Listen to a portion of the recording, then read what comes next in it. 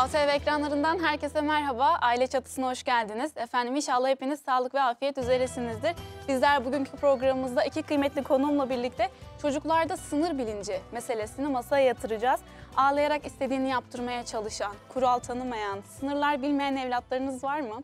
Ya da çocuğum beni dinlemiyor dediğiniz anlar oluyor mu? İşte tam bu anlara cevap niteliğinde bir yayın olacak inşallah. Klinik psikolog oyun terapisti Talha Tolunalp ve çocuk ve ergen terapisti Ayşe Hacıoğlu bizlerle birlikte. Sizler de konuya ilişkin merak ettikleriniz olursa veya bizlere katkıda bulunmak isterseniz ekranda geçen numara üzerinden bizlere ulaşabilirsiniz. Hoş geldiniz. Hoş bulduk Sümeyye Hanım. Nasılsınız? Teşekkür ederiz. Sağ olun. Sizler de iyisiniz. Çok şükür ben de iyiyim. Önemli bir konumuz var bugün. Sınır bilinci dedik. Nedenini, nasılını soracağım ilerleyen dakikalarda. Detaylı bir şekilde konuyu anlayalım istiyorum ama onun öncesinde bu sınır bilinci dediğimiz şey modern dünyanın bize dikte ettiği bir kavrammış gibi geliyor bana. Annemize, anneannelerimize baktığımızda kendi aralarında böyle çocuk yetiştirme hatıralarını konuşsalar kimsenin sınır bilincine dikkat ettim diyeceğini sanmıyorum. O yüzden bu sınır bilinci dediğimiz şey veya sınır eğitimi dediğimiz şey modern insan üretimi mi yoksa bir ihtiyaç mı? Böyle bir giriş yapalım derim. Buyurun Talha Hocam. Evet, teşekkür ederiz tekrardan davetiniz için. Şöyle söyleyebiliriz. Aslında kavram olarak yeni gibi gözükse de eskiden beri süre gelen bir kavram. Eskiden şöyle bir tabir vardı ya haddini bildirmek. Ona haddini bildiriyorum veya insanın haddini, hududunu bilmesi gerekir gibi. Dolayısıyla aslında buradan hareketle şunu görüyoruz. Yani bu eskiden beri devam eden bir kültür. Fakat şu anda bir ihtiyaçtan dolayı biz buna sınır eğitimi ismini vermişiz ve böyle bir sürece başlamışız. Bu yüzden burada bunun için toplandık. Bununla ilgili bir şeyler konuşma ihtiyacı duyuyoruz. Aslında bu doğal bir süreç ve eskiden beri süre gelen olması gereken bir ihtiyaç gibi söyleyebiliriz. Eskiden belki sınır bilinci, sınır eğitimi demiyorduk ama Evet. farkında olmadan yine bunun eğitimini veriyordu aile. Siz neler söylersiniz? Talha hocama katılıyorum. Ee, aslında bence son e, yani birkaç yıl pandemiden sonraki süreçte ben bu durumun daha da arttığını ve bizlere gelen e, problemlerin e, bunlar olduğunu söyleyebilirim. Özellikle e, sınır dediğimiz kavram aslında bizim hepimizin birbirimize karşı olan bir sınırı var. E, toplumda yaşadığımız noktalarda belli normlar ve belli kurallar var. E, bu sebeple aslında e, Talha hocamın dediği gibi önceden haddini bildirmek ya da işte belli bir hudutta kalmak gibi kavramlar Evet. daha katı ve aslında e, daha netti. Şu anda modern ebeveynliğin e, çıkmasıyla beraber aslında e, bu sınır kavramlarını daha çok e, görüyor oluyoruz. Özellikle pandemiden sonra daha çok gündemimize girdi değil mi? Sosyal mesafemizi koruyalım. Kimse kimseye bir buçuk metreden fazla yaklaşmasın diyerek aslında sınırlarımızın farkına vardık. Tabii ki bunlar fiziksel sınırlar. Bir de bunun duygusal sınırlar boyutu var ki biz bugün daha çok o alanda e, konumuzu detaylandıracağız. E, anneannemize, anneannemize, e, anneannemize, babaannemize, dedemize, e, annemize sorduğumuzda e, sınırlı davranıyor musun diye o neymiş ya ben öyle bir şey duymadım derler değil mi? Ama merhametli davranmak dediğimizde hiç dile bile getirmeden herkesin uyguladığı bir şey. Ama toplum olarak belki e, bizim e, kodlarımızda e, hem ihlal edilen bir tarafı var hem de belki çok dikkat edilen tarafları da var. Ama biraz iç içe girmiş durumda. Bugün bu konuda berraklaşsın zihinlerimiz inşallah. Şimdi... E, Yine modern dünya ile birlikte, modern dünyanın bir getirisi artık e, çocuklarımız özgür olsun, e, travma yaşamasın diye de e, sınırlarını daha geniş bir şekilde onların hatta kendilerinin sınırlarını belirlemesine müsaade ediyoruz ebeveynler olarak. E, bir yandan da başkalarının sınırlarını ihlal etmesin, başkalarının hakkına girmesin hassasiyeti yaşıyoruz. Bu ikisi arasında biraz kalmış gibiyiz açıkçası. Bu ikisi arasında biz itidali nasıl sağlayabiliriz? Ne dersiniz? Şöyle aslında evet burada böyle bir iki uç var. Çünkü eski nesilde evet sınır kavramı, sınır bilinci gibi bir şeyden bahsetmiyorduk. Ama o dönemde e, geliyor beş kardeş veya bak terliği fırlatacağım, anne terliği gibi daha böyle fiziksel yöntemler vardı. Dolayısıyla oradan yetişen nesil şu anda da çocuklarını çok daha hassas yetiştirmek istiyor. Birazcık bizim alanda da bu tarz bir eğilim var. E, bazı bizim uzmanlarımız, meslektaşlarımız da çocukları çok e, el üstünde hatta başımızın üstünde tutan bir yaklaşım sergileyebiliyor. Bundan dolayı da ebeveynler şöyle düşünüyorlar. Biz çocuklarımızı güzelce yetiştirelim, şefkatle yetiştirelim. Onları incitmeyelim, üzmeyelim, kırmayalım ya da bir travma yaşatmayalım gibi bir hassasiyetler oluyor.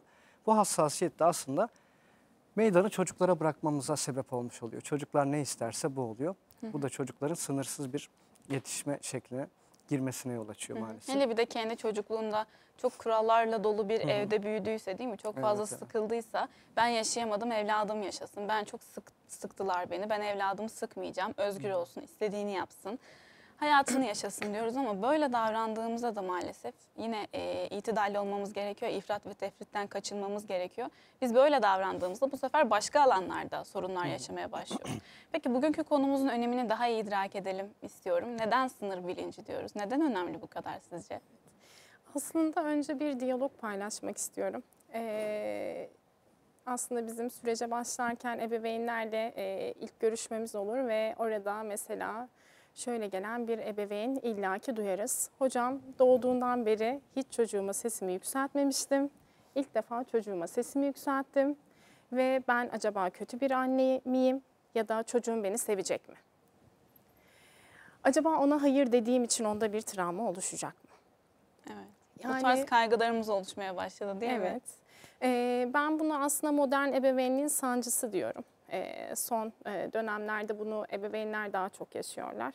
Ve özellikle acaba çocuğuma hayır dersem ya da istediğini yapmazsam işte ben çok sıkı bir çocukluk geçirmiştim. İşte çocuğuma bu konuda daha fazla alan açmalı mıyım acaba gibi.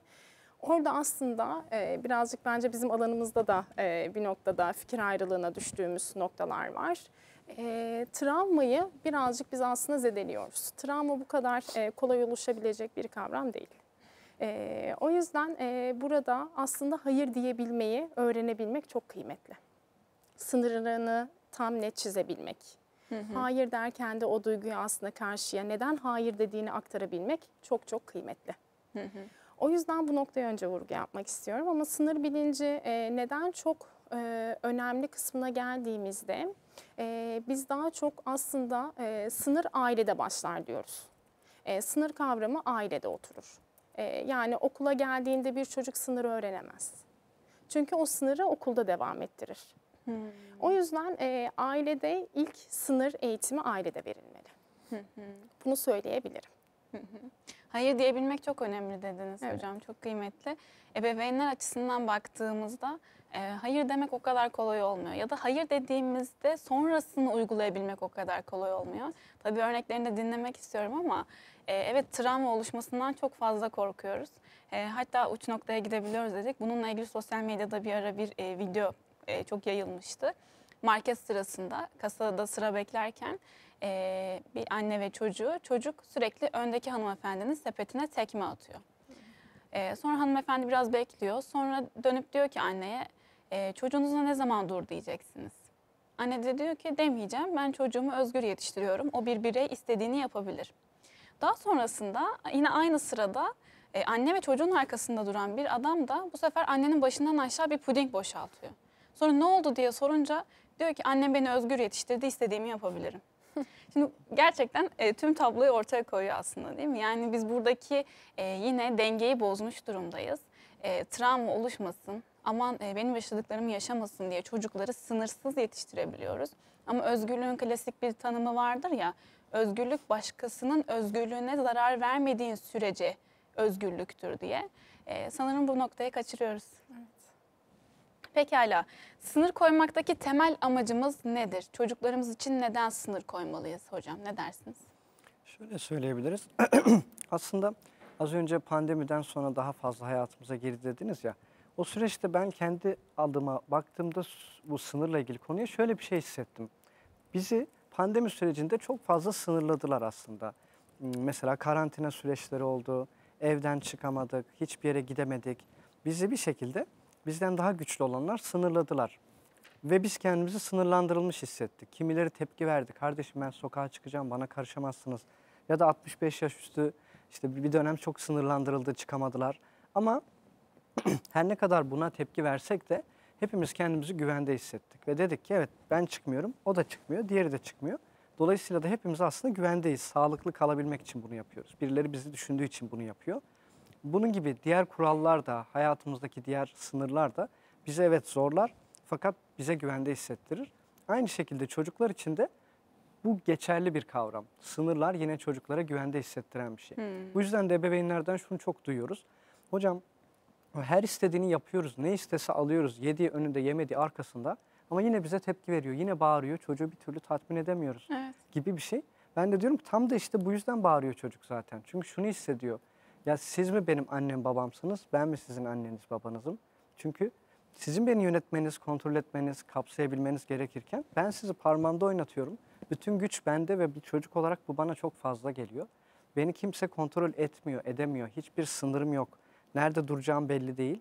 Dolayısıyla her şeye ben karar veriyorum. Aslında sınırsız yetiştirmek çocuk için bir iyilik değil, bir anlamda çocuk için bir kötülük olmuş oluyor. Çocuğa bütün yükü yüklemiş oluyoruz omuzlarına. Her şeye sen karar ver. Nerede durmak istediğine sen karar ver. Dolayısıyla çocuk şunu hissediyor. Benim annem babam şu anda beni bile durduramıyorsa bana gelecek tehlikeleri de durduramayacak. Dolayısıyla benim annem babam bana sınır koyabilecek kadar güçlü değilse bana gelecek tehlikeleri durdurabilecek kadar da güçlü değil. O yüzden de onlara çok kızgınım, çok tepkiliyim gibi bir yaklaşım olmuş oluyor aslında. Sınırlar çocuklar için güvenli alan sağlıyor dediniz. Hı hı. Yani anne ve babasının varlığının hissetmesi, güvende hissetmesini sağlıyor. Bu da dolaylı olarak anne ve babanın kurallar koyması ve sınırlarını belirlemesi onların sözünün geçtiği hissini çocuğa veriyor diyorsunuz. Evet güzel bir bakış açısı hocam. Siz neler eklemek istersiniz? Ee, gerçekten katılıyorum bu konuya. Çünkü ben bilinci dediğimiz aslında bilinç. Yani o güvenli alan çocuğun aslında ben kavramını edindiği nokta aslında bu sınırlarla gelişiyor. Sınır aslında orada bir limit demek. E, limiti olmayan bir kredi kartı kullandığımızda ne olur? Çok farklı bir noktaya gidebilir belki değil mi? Ay sonunu görmek Evet. istemeyiz. Şimdi aslında bu sınırlar her yerde var. Yani çocuk aslında sınır konulduğunda güvende hissi oluşur. Yani bir kısıtlama değil oradaki. Aslında onun güvenini sağlayan bir nokta. Çünkü ilerleyen yıllarda eğer bu çocuk sınır alma kavramını öğrenirse kendi sınırlarını başkalarına karşı da aslında alabilecek. Ve orada o ben bilincini devam ettirebilecek. Ben bugün bu benim seçimim ve bu seçimin aslında arkasında olmalıyım. Aslında ona bu seçim kavramının sorumluluğunu almayı çocuk aslında bu sınırla öğreniyor. Eğer biz ebeveynler olarak e, çocuğa bu konuda alan açmaz isek, işte Talha hocamın dediği gibi yani işte bu çocuğun her istediğini yapıyoruz ama hala durum bu noktada. Asıl problem gerçekten orada. Net bir sınır çizmek aslında bizim için çok önemli. Bir ülkeyi tanımlarken ne deriz? İşte belirli sınırları var deriz değil mi bir ülkenin tanımında? Ya da işte e, belli bir biz özellikle terapötik sürece başlarken e, belli bir çerçeve planı çizeriz. Belli bir sınır çizeriz. İşte o sınırın içerisinde kalma, o sınırla beraber aslında hareket edebilmeyi öğrenme hepimiz için çok kıymetli ve önemli. Aslında şu anda da bir sınırdayız biz değil mi? Hepimizin birbirimizle karşı aslında sosyal mesafesi olsun e, ya da işte belli noktalardaki durumlarımız olsun bizi aslında güvende tutan noktalar. Sınır demek aslında sorumluluk demek. Sorumluluk demek aslında güvendeyim demek. E, sınırla sorumluluğu aslında beraber tutmak daha önemli ve iyi olacaktır. Çünkü sorumluluk almayı e, bilmeyen birisi oradaki sınır kavramını da bilemez. Aslında burada belki bir sorumluluk kavramına e, bir pencere açabiliriz. Lütfen hocam nasıl bir ilişkisi var sorumluluk ve sınırın? Evet, şimdi e, aslında köy hayatında olsun ya da şu anki modernleşen şehirleşme durumunda olsun e, bir çocuğa hadi bakalım ya şu kümese git de yumurtaları toplayıp gel bakalım denildiğinde değil mi? E, o çocuk mesela o yumurtaları çok nazik ve kibar toplayıp eve getirmekle sorumlu tutulabilir. Ya da örneğin e, gel bakalım hadi e, bugün seninle e, şu ödevini yapalım ama e, senin aslında sorumluluğun bu değil mi? Sen yapman lazım bu ödevi. Bu senin sorumluluğun diyebilmek. Aslında o ödev bizim ödevimiz değil. İzahını da yapmak gerekiyor yani böyle tane tane anlatmak Evet. gerekiyor. Aslında bizim e, işte çok konuşuyor, acaba çok konuştuğumuzda anlar mı çocuklar deniliyor ya. E, bazı yaş aralığındaki çocuklara daha kısa ve net e, şekilde e, konuşmamız her zaman daha iyi olur ama bir çocuğun gerçekten gözlerinin içine bakıp onunla aynı mesafeye inip işte duygularını yansıtarak, konuşarak aslında sınırları ve oradaki sorumluluk bilincini oturtabiliriz. Yani çocuk eğer orada sorumluluk almayı öğrenirse bir sınıfın içerisinde 45 dakika e, oturmalıyım bilincini de öğrenecektir. Ya da işte teneffüs zili çaldı, teneffüse çıkmalıyım. Ders zili çaldı, derse girmeliyim. Bu benim sorumluluğum. Ben okuldayım, ben bir öğrenciyim. O zaman bu sorumluluklarımı yerine getirmeliyim. Aslında orada da şekillenen bir kavram bu. Sizin hem eğitimci geçmişiniz var hem Evet. aynı zamanda e, seanslar da yapıyorsunuz. Evet. Terapi seansları. O yüzden birçok çocuğun hayatında şahitlik ediyorsunuz. E, neler gözlemliyoruz daha çok çocuklarda? Evet, şimdi şöyle aslında e, Talha Bey'le de biz arada konuşmuştuk bu konuyu ama e, şimdi öğretmen e, aslında e, zil çaldı hadi bakalım derse geçiyoruz der çocuklara ve çocukların çoğu aslında derse geçer. Bazıları dışarıda kalır aslında oyununu devam ettirmeye devam eder. Öğretmen hayır derse geçiyoruz der ve e, çocuk eve gider. Öğretmenim bana hayır dedi. Hayır dedi. Bu yüzden gerçekten okul değiştiren ebeveynler, sınıf öğretmenini değiştiren ebeveynler oluyor. Bunlarla Nereden nereye değil mi hocam? İnsan Evet. çok şaşırıyor. Benim nasıl çocuğuma hayır der? O çocuk hiç hayır duymamış ki hayatında. Halbuki iyiliği için yapıyor çocuğuna Evet. değil mi? İhtiyacı olanı veriyor. Aslında hedonist çağ dediğimiz Rabbena hep bana bilinci aslında bizim yetişkinler arasında da maşallah eee, Pek yaygın. Pek yaygın. Kendimize de bu yüzden- alanda bir öz eleştiri yapmamız gerekiyor. Evet. O yüzden aslında orada net sınırlar çok kıymetli. Okullarda asıl biz bu sınır problemlerini çok net görüyoruz. Çünkü okuldaki çocukla evdeki çocuk hiç aynı değil. Çok farklılar. Öyle mi? Evet. Bir de evde bir şekilde anne baba tahammül eder de sanki okulda öğretmenler hangi bir, hangi birine tahammül etsin o çocukların değil mi? Ya da o kadar çocuğun arasında sınırlarını bilmeyen çocuk daha çok göze batabilir, daha rahatsız edici olabilir. Evde belki kardeşi varsa kardeşini rahatsız edecek bir tarafı olacak ama okulda birçok çocuk var. Ee, şimdi e, topluma kazandırdığımızı da unutmamamız gerekiyor bu evlatları. Her zaman e, bizim tahammülümüzde olmayacaklar. Her zaman bizim kontrolümüzde olmayacaklar. Onların bir sosyal hayatı olacak. İlerleyecek, kendi yuvasını kuracak. Yani bugün attığımız tohumların nasıl büyük etkilere sahip olduğunu, nasıl büyüyeceğinin aslında farkında ve bilincinde olarak davranmamız gerekiyor. Peki hocam, biraz da sizlerden e, somut örnekler dinlemek istiyorum. Sınır bilinci neden önemli dedik? Olmadığında neler olabilir? Siz neler gözlemliyorsunuz? Evet sınırla ilgili ben kendim bizzat terapi süreçlerinde de deneyimliyorum. Ailelere çünkü somut anlatmak gerekiyor. Gerçekten aileler şunu duymak istiyor. Bakın bunu ben kendim de uyguluyorum ve faydasını görüyorum. Gerçekten bu çocuklar için gerekli bir şey, önemli bir şey. Bunun mesajını vermek, somut örneklerle vermek önemli. Bu yüzden de sizin bu sorunuz da kıymetli. Çünkü biz uzmanlar bir şeyler anlatırken hani önemini çok güzel teorik bilgilerle anlatırız. Ama hocamızın da bahsettiği gibi böyle somut örnekler gerekiyor. Gerçekten yaşanan şeyler üzerinden anlatmak gerekiyor ki aile de şunu hissetsin. Evet ya bu gerçekten önemliymiş. Ben bunun bu kadar önemli olduğunu farkında değildim demesi lazım. O yüzden bizi izleyen veya izleyecek olan ebeveynlerimizin de bunu hissetmesini isteriz bu programdan sonra. Evet inşallah. Dolayısıyla ben de kendim terapi süreçlerimde şunu görüyorum. Bizim e, terapi süreçlerimizde de belli bir sınır vardır. Hocamız da bahsetti az önce. Gerçekten o sınırları biz de çocuklara aktarırız. Ve şunu net bir şekilde söyleyebilirim ki çocuklar başta o sınırlardan rahatsız olurlar. Tepki verebilirler. Sen de her şeye hayır diyorsun. Sen de hiçbir şeye izin vermiyorsun. Belki diyecek ki sen çok kötü bir annesin. Evet, Sen çok kötü bir babasın. Bilmem Hı hı. ne arkadaşımın annesi babası hiç böyle değil. evet. O zaman bir vicdan yapıyoruz değil mi? Kötü Evet. bir annesin dediğinde aman kötü bir anne olamam ben. Hemen çocuğum ne istiyorsa onu yapmalıyım gibi psikolojiye giriyoruz sanki. Kesinlikle. Çünkü çocuklar da artık çok zeki ve nokta atışı yapıyorlar. Bizim damarımız, zayıf noktamız neresiyse Onlar da oradan vurmaya çalışıyorlar. olmuş Evet. hocam. O yüzden de böyle en can alıcı cümle neyse onu söylüyor. Sen çok kötü bir annesin. Sen zaten beni hiç sevmiyorsun. Evet. Bu sefer ebeveyn de onu açıklama telaşına giriyor. Yavrum olur mu öyle şey? O nereden çıktı? Ben seni bak ne istiyorsan yapıyorum, şunu yapıyorum. Bu sefer sınır koyarken ebeveyn birden savunmaya geçen, ikna etmeye çalışan bir pozisyona geçiyor. Çocuk yine güçlü oluyor. "Ya Benim dediğim oldu sonunda diye. Yine çocuk güçlü oluyor. Ama aslında çocuk o sınırı görmek ister. Dolayısıyla da seanslarda da biz çocuklara sınır koyunca başta tepki verirler.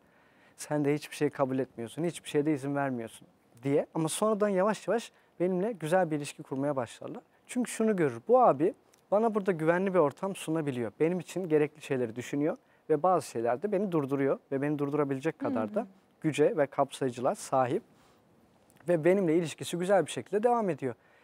Dolayısıyla da seansları da sürdürüyor. Hiçbir çocuk şey demiyor. Bu abi bazı şeylere hayır diyor.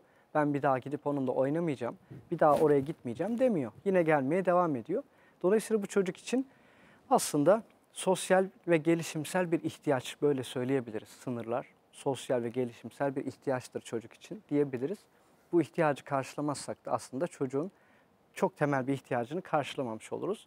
Bu da hocamızın bahsettiği gibi diğer alanlarda, okulda, daha ilerleyen yaşlarda üniversitede, sonra çalışma hayatında, evlilik hayatında farklı sınır problemlerine yol açacağı için de sürekli bir şeyleri çözmek zorunda kalmaları gibi bir durumla sonuçlanıyor. O yüzden sınırlar önemli bir ihtiyaç diyebiliriz. Peki sınır bilinci gelişmemiş bir bireyin tanımlamasını nasıl yaparsınız? Nasıl bir resim çizersiniz?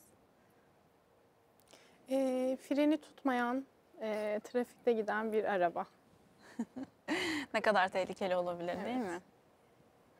E, çünkü aslında e, trafikte bizim yetişkin olarak da belli noktalarda işte e, şeritten şeride geçerken değil mi sinyal vermeden geçemeyiz. Aynı onun gibi aslında. Onun yani trafik noktasında da belli kurallar var. İşte aslında kural mı sınır mı? Çok karıştırılan da bir nokta ya. Evet. İşte o yüzden burada benim e, örnek verebileceğim nokta bu. Yani e, o yüzden belki bir arabanın e, freni tutmadığında ne yapar? Diğer araca vurabilir. Ve bu noktada aslında birinin hayatını tehlikeye atabilir. Aynı bunun şekli, aynı bunun gibi aslında. Yani e, hocamın dediği üzere e, yani hem güvende tutar hem de o kaosu aslında hafifletir. Sınır ol, yani sınırın olmadığı yerde hep bir gerilim vardır aslında bir öfke vardır, e, bir kaos vardır. O kaos çözülmezse e, bu şekilde devam edebilir. Hem yetişkinlikte hem ileri dönem yani ileri yetişkinlik döneminde belki yaşlılık evresine gel- gelinen bir durumda. Bu sebeple e, benim verebileceğim örnek bu olabilirdi herhalde. Peki sınır ve kural ilişkisini biraz daha detaylandırabilir miyiz hocam? Evet. Aslında iç içe e, birbirinden çok ayrı diyemeyiz ama biz e, sınırı daha yumuşak, e, daha güvenli bir şekilde çocuğa sağlamalıyız. Kurallar nettir. E, işte nedir? E, anayasada da vardır. E, net bir şekilde işte birinin canına zarar verirsen kanun noktasında böyle böyledir. Değil mi? Ama mesela sınırda e, öncesinden biz çocuğa işte sen tablet oynamayı istiyorsun sanırım. Ama işte belli bir saat dilimin var. Bak saat şu anda örneğin 13.00, 13.45'te e, bana tableti getirmeni istiyorum. Eğer getirmiyor mu? işte orada biraz kaos başlayabilir. Aynı o arabanın e, frenine basmadığı gibi çocuk sonuna kadar o batarya bitene kadar yani şarjı bitene kadar tabletin e, aralıksız bir şekilde tableti oynamaya devam ettirebilir. Biz orada ne yapacağız peki? Yani işte fren tutmuyor arabada. Ne yapabiliriz? Mahkemenin yaptığını. Yaptırım uygulayacağız değil mi? Evet. Ama orada kıyamıyoruz. Orada kıyamamak devreye giriyor. Sonrasında da tutarsızlık oluşmaya başlıyor. Onu da detaylandıralım inşallah. Tutarsızlık meselesi de çok önemli. Özellikle anne ve baba arasında e, ikisi de farklı şeylere izin verdiğinde, ikisinin sınırları farklı olduğunda çizdiği sınırlar bu sefer çocuğun dünyasında bir tutarsızlık oluşuyor ve programın ilk dakikalarından itibaren bahsettiğimiz mesele güvensizlik. E, dil ile ifade edilemeyen ama his olarak güvensizlik yaşandığını söyleyebiliriz. Peki şimdi e, kurallar dedik ve sınırla ne kadar ilişkili bir de sınırla sorumluluk ilişkisinden bahsettik. İnsanlara böyle e, rahatsız olduğunuz şeyler ne diye sorsak herkesin işime karışmasından çok rahatsız oluyorum. Herkes benim söylediğim hakkında bir şey söylüyor. Bu mesleklerde de böyledir değil mi? Mesela ben diyetisyenim bir yerde diyetisyen olduğumu söylediğimde hemen birileri beslenmeyle ilgili bir şeyler söylemeye başlar. Sizler psikologsunuz, terapistsiniz. Ee, bir şeyler söylediğinizde yok o öyle değilmiş televizyonda e, şöyle bir kanalda şöyle bir şey gördüm böyledir gibi. İşte uzmanlarından dinlemenin o yüzden çok kıymetli olduğunu tekrar vurgulayalım istiyorum. Meslek grupları da böyle sıkıntılar yaşıyor. Bu sadece meslek gruplarında değil çocuklardan itibaren başlıyor. Çocuklar da aynı şeyden şikayet ediyor. Herkes işime karışıyor. Evde anneye bakıyoruz. Herkes işime karışıyor. Babaya bakıyoruz, işime karışmayın, herkes işime karışıyor. Bir otobüse biniyoruz, şoför diyor ki aman herkes çok biliyor, herkes işime karışıyor. Yani herkes bundan şikayet ediyorsa demek ki bir yerlerde biz sınır eğitiminde e, geri planda kaldık ve sınırlarımızı bilmiyoruz. Bu anlamda bilincimiz oluşmamış ve o yüzden insanların hayatına da zarar vermeye başlamışız. Ve bunun da e, çok güzel söylediniz Ayşe Hocam, ailede başlar ailede başlıyor. Ailede bu eğitimi verirsek, bu tohumu asarsak inşallah çok güzel bir şekilde topluma e, sınırını bilen, hem kendi sınırını bilen hem de başkalarının sınırını ihlal etmeyen, saygı duyan e, insanlar yetiştirme e, vesile oluruz diyelim.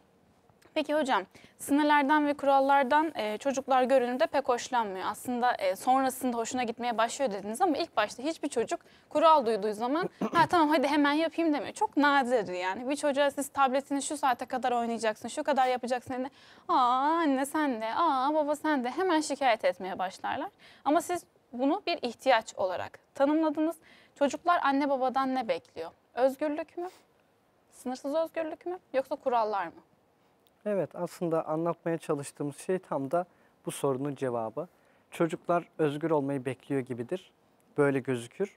Fakat o özgürlük onlara m, korkutucu bir genişlik sunar. Ve dolayısıyla aslında bir karanlık sunmuş oluruz çocuğa. Uçsuz bucaksız. Yani çok güzel bir görüntü gibi. Ama şöyle düşünün. Bir denizin ortasındasınız. Etrafta hiçbir şey yok. Sınırınız yok. İstediğiniz kadar gidebilirsiniz ama bir yandan da kötü hissedersiniz. Ne tarafa gideceğim? Nereye kadar gideceğim? Acaba nerede bir karaya ulaşacağım?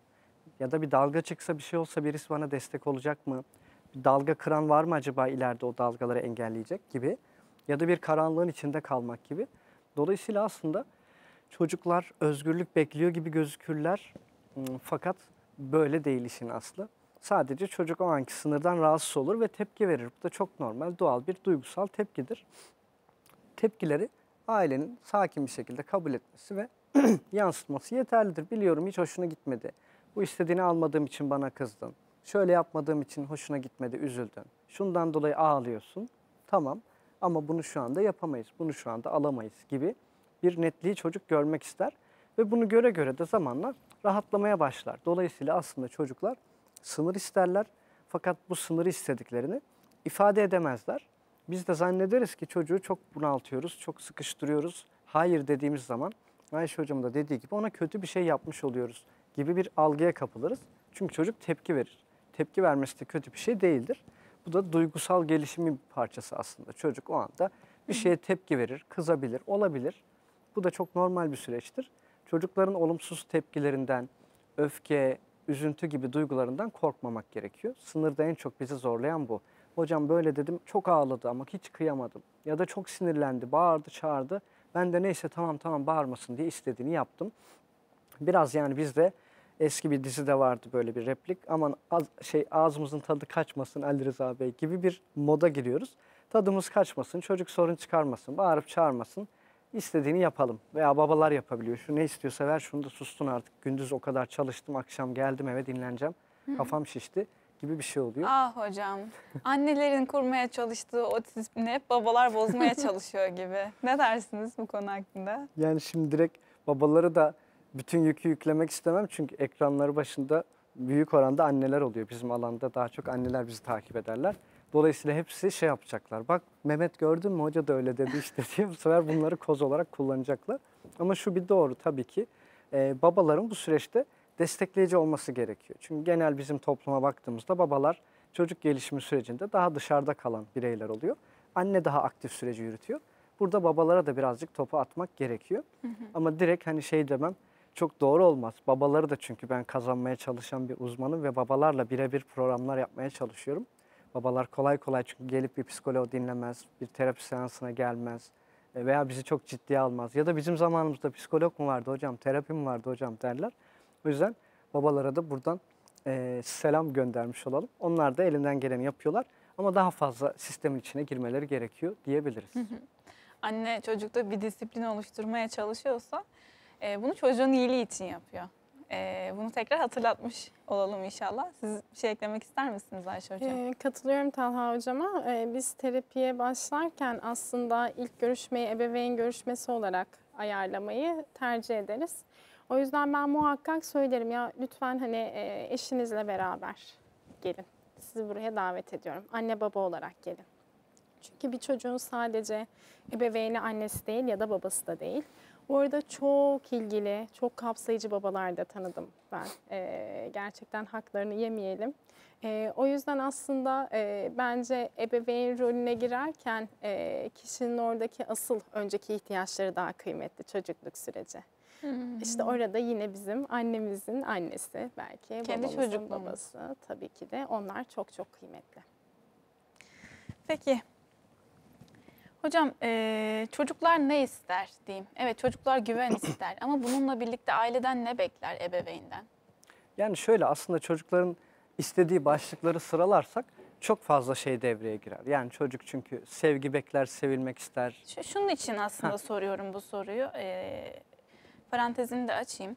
Eee, çocuklar genelde bir mesele için ağladığında genelde sınırını çizmediğimiz zaman çocuk ağlayarak tepki verir. Kızarak tepki verir, öfkeyle tepki verir dediniz.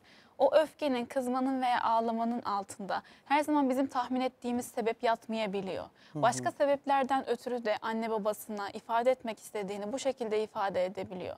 O yüzden sınırlar ve kurallar ve tabii ki bununla birlikte disiplini konuşuyorken çocukların anne babasından ne beklediğini dediğini tekrar hatırlayalım istedim. Tamam. O zaman bu minvalde açıklayacaksak şöyle diyebiliriz. Çocuklar çok fazla şey ister tabii ki ama hepsinin altında aslında en temelde hepsini kapsayan şey anlaşılma isteğidir diyebiliriz. Çünkü çocuklar bizim gibi kendilerini bu kadar uzun uzun ifade edebilen varlıklar değil. Hem böyle dil kapasitesi açısından hem bilişsel kapasite açısından kendilerini bu kadar ifade edemiyorlar. Yani anne baba sen bana sınır koymuyorsun, beni durduramıyorsun. Ben de bundan dolayı çok gergin hissediyorum. Uçsuz bucaksız bir boşlukta, okyanusta gibi hissediyorum. O yüzden de size karşı bir tepki geliştiriyorum. Bu tepkiler de içimde sıkışıyor ve o yüzden de ben böyle koltukları parçalıyorum, yastıkları fırlatıyorum diyemiyorlar. Evet. Bunun yerine o gerilimi bazen bir davranışla, bazen bir gözyaşıyla, bazen ortalığı yıkarak ifade ediyorlar. Ve şunu demek istiyorlar aslında. Anne, baba beni anlamaya çalış, beni fark et. Ben buradayım ve bir ihtiyacım var. Ve sen bunu anlamıyorsun, beni anla. Ben bunu ifade edemiyorum, o yüzden bağırıyorum. O yüzden olmadık şeye ağlıyorum. Durduk yere olay çıkarıyorum. Çünkü benim içimde bir dert, sıkıntı var. Aslında da çocuğun derdi bu, anlaşılmak istiyor.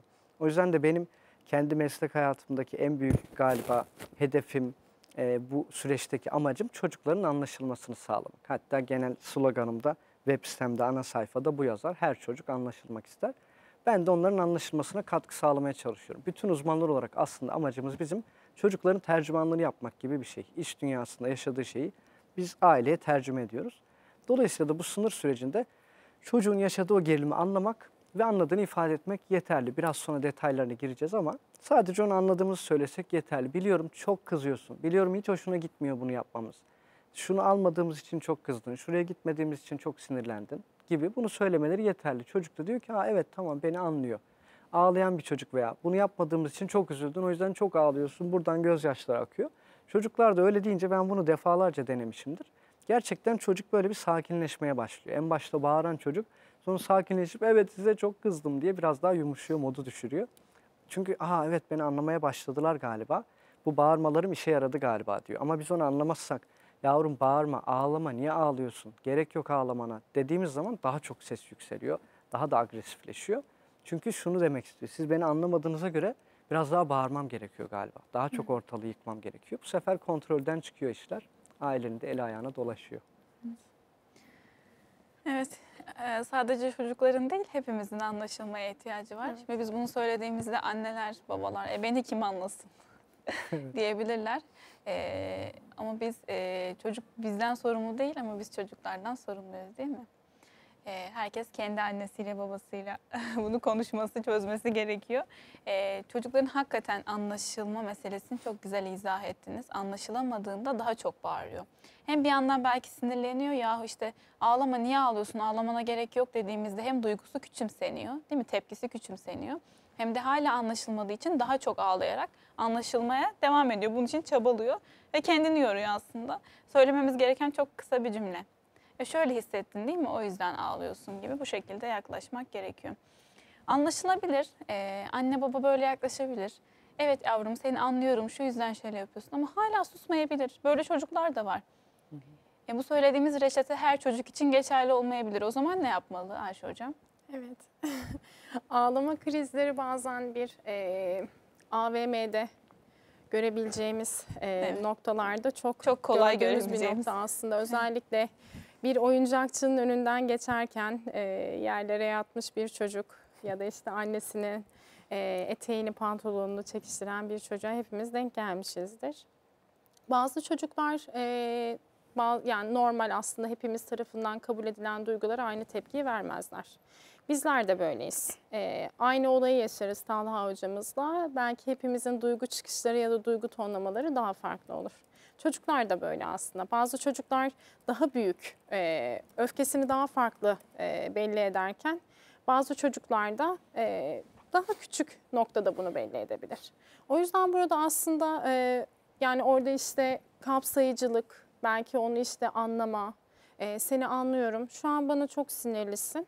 E, ama bunu bu yüzden yapıyoruz gibi net olmak. E, bırakın biraz ağlasın. Yani ağlayınca işte nasıl olacak? Acaba herkes bana bakıyor şu an. İşte orada hemen bir kaygı. Annenin kaygısını zaten çocuk bir sünger gibi çekiyor. Anne ne kadar kaygılanırsa çocuk o kadar kaygılanır. Ve bu kaygıyla beraber aslında birinci duygu belki orada bir reddedilme, belki bir üzgünlük. Ama ortaya çıkan duygu aslında büyük bir öfke patlaması olarak çıkabilir. Evet şu an üzgünsün anlıyorum ee, ama biz bunu konuşmuştuk. Ee, ama bunu işte kabul etmen için burada seni bekleyebilirim istersen. Ben buradayım, her zaman seninleyim. Ee, hadi bakalım ee, bana sarılmak ister misin? Çünkü bir çocuğun aslında duygu regülasyonu dediğimiz o duygularını regüle edebilmeyi e, öğrendiği nokta belki de annesinin oradaki o sempatik tavrı, işte o duygusunu çocuğa çok güzel bir şekilde aktarması. Çünkü çocuklar mizacı çok güzel bilir. Çatık kaşlı kişileri çok iyi bilirler. İşte yüzü gülen kişileri çok iyi bilirler. E, o yüzden orada aslında bizim duygu tonlamamız daha önemli. Yani krizi nasıl yönetebilmeliyiz orada? İşte bir kere etrafı gerçekten e, belki oradan geçen bir kişi bizi sonrasında görmeyecek. Etrafın bu kadar önemli olmadığı, aslında orada anda kalmak çok önemli. Şu an buradayım, seninleyim e, ve senin yanındayım. Hadi bakalım bana sarılmak istersen buradayım. Belki bir köşede oturmak, onunla beklemek ya da seçenek sunmak. Onu tamamen kapsamak. Çok kıymetli. Temasta bir sakinleştirici aslında yapmak değil mi? Hani iğneyle sakinleştirici yapıyoruz ya dediğiniz çok güzeldi. Çocukların zihinleri açık ve algıları da açık. O anda annenin başka şeylere kaygılandığını hissettiğinde ağlamanın şiddeti de artıyor aslında. Ee, orada hem kendimizi sakinleştirebilmek hem de çocuğu anlaşıldığını hissederek o anda kalabilmek çok önemli. Peki sınırlar diyoruz. Ee, aslında programın başından beri çocuklarımızın sınırlarını belirlemek üzerine durduk. Ee, çünkü onlar e, kendi sınırlarını belirleyebilecek bir e, bilgi birikiminde değiller hayata karşı ve ebeveyn olarak bu sorumluluğumuz. Evet bir de onların birey olarak hakları var. Yani biz biraz modern dünya çocukları çok bireyselleştirdi diyerek eleştiri üzerinden giderek yorumladık ama bir de böyle bir tarafı var. Yani çocukları aman travma olmasın, aman e, işte özgürlüğü ihlal edilmesin diyerek çok hassas yaklaşan ebeveynler olduğu kadar çocuklarının bir birey olduğunun farkına varamayan bir ebeveyn profili de var. Yani bu bebeklikte yemek yedirirken başlıyor aslında. O mesajlar o anda verilmeye başlıyor. Sen acıkmışsındır, doymamışsındır, biraz daha ye. Sen şunu giy, bunu giyme. Yani küçüklükten seçimler yaptırılmayan çocuklar aslında bir anda sınırları da ihlal edilen, bireyleşmesine izin verilmeyen çocuklar olabiliyor ki sonrasında yine o noktada olumsuzluklar yaşadığımız gibi bu noktada da ilerleyen yıllarda olumsuzluklarla karşılaşabiliyoruz çocuklarda. Bu açıdan değerlendirdiğimizde sınırlarının ihlal edildiğini ilk ne zaman farkına varıyor çocuklar? Ailelerine ilk ne zaman tepki gösteriyor? Hatta bu zaman için başat noktası olarak bilmiyorum bu benim kendi yorumum ergenlik dönemi diyebilir miyiz? Yeter artık beni yalnız bırakın, yeter artık beni rahat bırakın, ben artık bir bireyim, ben artık büyüdüm cevaplarıyla karşılaşıyoruz çünkü ergenlik döneminde. Yoksa daha öncesinde de başlıyor ama tam anlamıyla ifade mi edemiyor? Nasıl kendini gösteriyor? Bu öfkeler, ağlamaların bir sebebi de bu olabilir mi? Diyeyim Talha Hocam. Evet.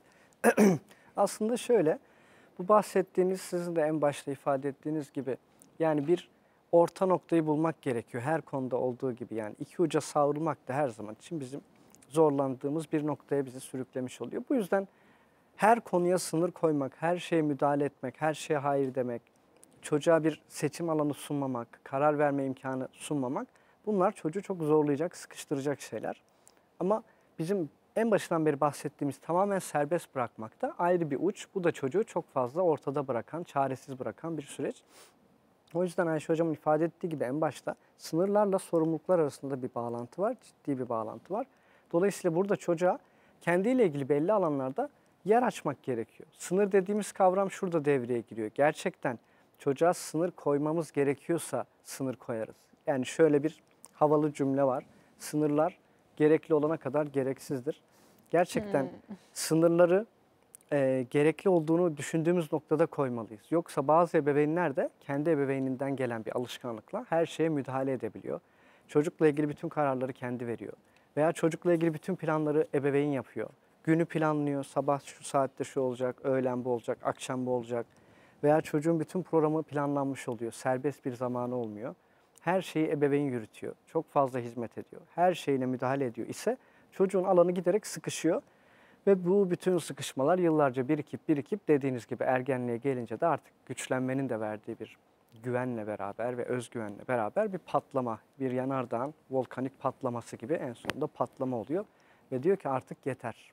Ben artık büyüdüm, güçlendim ve artık sizin yapacağınız hiçbir şeyi kabul etmiyorum. Bana yapacağınız hiçbir dayatmayı istemiyorum. Tamamen reddediyorum her şeyi deyip daha isyankar bir noktaya kayıyor. Zaten ergenlik isyan kaynaklı giden bir süreç. Kişinin kendi e, kişiliğini oluşturma çabası içerisinde bir şeylerle muhalefet ederek doğruyu bulma süreci gibi belki tanımlayabiliriz. Hocam ergenlerle çalıştığı için daha iyi ifade edecektir ama hani bildiğimiz kadarıyla böyle. Dolayısıyla çok fazla bastırılmış, çok sıkıştırılarak yetiştirilmiş, çok fazla bunaltılmış çocuklar ergenlikte daha büyük patlama yaşar. Birazcık daha kendine alan açılmış çocuklar ergenlikte bir, biraz daha rahat geçirir ama ergenlik her halükarda ebeveynle bir çatışma, otoriteyle çatışma, muhalefet etme gibi bir süreç olacak. O yüzden burada da sınırlar çok önemli. Sınırları çocukken oturtmak gerekiyor. Çocukken çok serbest olan bir çocuğa ergenlikte sınır koymamız bir işe yaramaz. Ya da tam tersi çocukken çok bunaltılmış bir çocuk artık ergenlikte serbest bile bırakılsa işe yaramaz. Çok geç kalmış oluruz. O yüzden çocukken bu sınırları çok güzel aktarmak gerekiyor. Peki ergenlik dönemine kadar çocuklar belki de tepki veriyor ama biz anlamıyoruz. Ne dersiniz? Kesinlikle katılıyorum. Ee, aslında sinyalleri e, yavaş yavaş veriyor. Ee, bebeklikten başlıyor bence bu durum. İşte e, bebek ağladığında anne ne yapar ilk e, noktada ilk aylarıysa hemen onu bir doyurma ihtiyacına gider orada. İşte ihtiyacı çok karşılama az karşılama meselesi aslında burada devreye giriyor. İşte birisine bir şeyi çok fazla vermek de problem, az vermek de problem her yerde bir sınır durumu. Aslında çocukluktan beri o sinyaller giderek büyüyor. Talha hocamın dediği gibi aslında bir volkanik yanardağın patlamaya e, hazırlanması gibi. Ergenlikte çocuk artık ben, ben buradayım, ben. Ben buradayım, beni göreceksin. Bir intikamla dönüyor sanki. Kesinlikle. Hepimizin e, ailesinin içerisinde kardeşleri vardır. Ergenlik sürecinde olan ya Hepimiz da biz de yaşadık Bizim hocam. geçirdiğimiz ergenlik süreçleri çok farklı aslında. Nesil nesil düşündüğümüzde işte bizden önceki kuşak annemizin babamızın olduğu bir kuşak aslında düşündüğümüzde kayıp bir kuşak. Hani neden bu kadar e, sorunlar o zaman? Biz ergenlik geçirdik. Hani niye Bizim bu kadar çok konuşulmadı? diye bir şey yoktu diyorlar Evet. mesela değil mi? İşte kayıp bir kuşak. Aslında belki çok bastırılmış bir kuşak. Hani neden sorunlar şu an çıkıyor diyoruz ya. Bu arada ben şuna inanıyorum. Ee, yüzyıllar boyunca bence şu anki ebeveynler iyi bir ebeveyn. Çünkü her şeyi biliyorlar. aslında çok bilmek de hata burada. Ee, orada aslında ergenliğe gelen çocuğun e, sinyali beni anla. Ben buradayım beni görüyor musun sen? Ben buradayım beni görmedin sen. Şimdi ben de seni görmeyeceğim. Hadi bakalım. Aslında bir kıyas, bir rekabet. Ee, yani orada aslında e, çok hareketli bir dönemde. Anlaşılmayı beklemek, tasdiklenmek, onu onure etmek. Sen buradasın. Evet ben senin kararına saygı duyuyorum. Ve gerçekten e, yani çocuğunuzun aldığı karara saygı duymalısınız. Belli noktalarda evet e, biz doğruyu yanlışı e, ona söylemeliyiz. Ama bir noktada da seçim konusunda da onu bu seçti. O zaman birazcık saygı duyalım. Hocam öyle kararlar alıyor ki nasıl saygı duyayım Evet. diyecek şimdi ebeveynler. Evet şimdi Onun yani e, Anadolu tabiriyle böyle e, kendi e, nenemiz dedemiz de onun aklı ne ki? Nereden bilecek ki? Böyle bir bakış var. ben buna hep şöyle diyorum. Termometre değil termostat olsunlar. Çünkü termometre aslında odanın sıcaklığıyla beraber yükselir ama termostat aslında odanın, odanın sıcaklığını sabit olarak Dengeler. tutar. Şimdi oradaki denge kavramı çok önemli. O çocuğun aslında biliyor. Neye evet neye hayır diyeceğini aslında ebeveyn çok iyi biliyor. Bizlerden çok iyi biliyorlar. Okuldaki öğretmeninden çocuğu aslında daha iyi tanıyor ebeveyn. Neye evet dediğini, neye hayır dediğini, aslında neye sınır koyduğunda o çocuğun e, belli bir noktada bu sınırı deleceğini aslında ebeveyn çok çok çok çok iyi biliyor. O yüzden belki burada e, ona alan açmak, e, ben çok gerçekten Talha hocam söyledi, proje çocuk. Her saati dolu çocuğun. Yüzme kursu, piyano kursu, keman kursu, işte özel dersimiz var, bir de dersimiz var. O çocuğun kendi dersi, senin dersin değil. Okullarda yaşadığım bir e, hadiseyi anlatmak istiyorum bu konuda. İşte portfolyo sunumları olur ya da işte proje ödevleri verilir. Ben buna çok karşıyım. Keşke e, bu proje ödevleri kalksa. Bir çocuk gerçekten kendi yaptığı proje ödevini getiriyor. Bu çocuğun yaptığı proje ödevi diyorsunuz. Çok net belli. Bir de geliyor yani mükemmel büyüklükte devasa hiçbir yerinde bir kusur Sanayide olmayan. yaptırmış. Evet bir proje. Aslında orada onu ebeveyn yapıyor. Çocuk değil. O proje ödevi aslında o çocukla çocuğun kaynaşması için çocukça bir proje ödevi. Burada bile aslında o çocuğun alanına giriyoruz. İşte o alan ihlalleri dediğimiz nokta burada başlıyor. E çocuk ergenliğe geldiğinde ya bir dakika bu benim alanım. Hani neden diyor. O yüzden buralarda genellikle gerilim hatları çok e, gerilebiliyor. Peki e, son 3-4 dakikamız hocam. Konumuz çok derin. E, bir yandan çocuklara sınır çizmemiz gerekiyor dedik. Bir yandan çocukların sınırlarını ihlal ettiğimizde bunun dönüşü nasıl oluyor dedik. E, özellikle birey olduğu hissedilmeyen, sınırları ihlal edilen çocukların e, tabiri caizse ergenlik döneminde bir patlama yaşadıklarını ve ailelerinden neredeyse hesap so- sorma vaziyetine geldiklerini ifade ettiniz.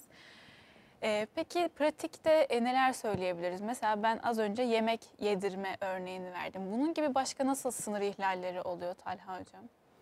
Genel olarak sınır ihlali farklı farklı alanlarda karşımıza çıkabiliyor. Fakat bizim için az önce de ifade ettiğim gibi her konuda sınır koymamız gerekmediği için sınırlar aslında temel alanlarda karşımıza çıkıyor. Bunlar da çocuğun belki sorumluluğuyla ilgili veya yapması gerekli olan konularla ilgili olabiliyor. İşte bu yemek dediğiniz gibi yemekle ilgili olabilir, uykuyla ilgili olabilir, yatma saatleri, kiminle uyuduğu konusu, tuvaletle ilgili olabilir, okulla ilgili, ödevlerle ilgili, sorumluluklarla ilgili olabilir. Buralarda daha çok çocuklar ım, zorlandıkları konularda daha çok sınır zorlayıcı bir noktaya gidebiliyorlar. Çünkü sınırda aslında temel mesele çocuk daha çok haz odaklı yaşayan bir varlık ve sevdiği şeyleri yapmak ister. Sıkıldığı şeyleri yapmak istemez. Dolayısıyla da ebeveynler en çok buralarda sınır konusunda zorluk yaşarlar. O yüzden uyku çocuk için ım, genelde şeydir, gereksiz bir şeydir. Yani güzel güzel oynamak varken ben niye gidip yatayım? Ya da yetişkinler daha geç yattığı için herkes içeride güzel güzel eğlenirken ben niye yatayım? Veya tuvalet konusu bazı çocuklar için vakit kaybıdır. Güzel güzel oynamak varken niye oyunumu yarıda bırakıp tuvalete gideyim, orada bekleyeyim ne gerek var? Buralarda çocuklar sınırları zorlayabilir. Ya da ödevler birçok çocuk için sıkıcıdır, zordur. Buralarda yine sınır zorlar. Bu yüzden ebeveynler buralarda çok fazla zorluk yaşarlar. Önemli olan net bir şekilde bizim ifade ettiğimiz gibi yansıtmayı yapmak, çocuğun zorlandığını fark ettirmek sonra da asıl olması gerekeni çocuğa hatırlatmak gerekiyor. Burada da bizim söylediğimiz gibi bir uzman gibi biz psikolog olduğumuz için daha kibar ifade ediyoruz. Seni anlıyorum, çok zorlanıyorsun. Evet. Ama ebeveyn bu kadar kibar, pedagojik, tane tane açıklayamayabilir. Ebeveynin de kendi duyguları var. O yüzden burada dediğimiz hep şu oluyor. Siz de bir insansınız, doğal davranın. Yani sadece yansıtmayı yapın ama nasıl yaptığınız önemli değil. Siz doğanda sinirliyseniz sinirli yansıtın. Ya biliyorum, anlıyorum, sen de kızdın ama artık şey yapman gerekiyor yani gibi de olabilir. Yani illa bizim söylediğimiz gibi tane tane seni anlıyorum bir tanem gibi böyle olmak zorunda değil. Bunu da hatırlatmış olalım. Doğallık iyi. önemli. Çok iyi oldu hocam. Bazen gerçekten anlatımlarımızdan canım her anda o şekilde Evet. yaklaşamam ki çocuğa. Benim de her halim bir olmuyor diyor ebeveynler. Doğal halimize yaklaşabilmek. Önemli olan orada mesajı almak yani anladığımızı hissettirmek önemli. Şimdi kısa bir araya gitmemiz gerekiyor. Konumuz çok güzel ilerliyor. Aranın ardından tekrar sizlerle olacağız. Bizden ayrılmayın.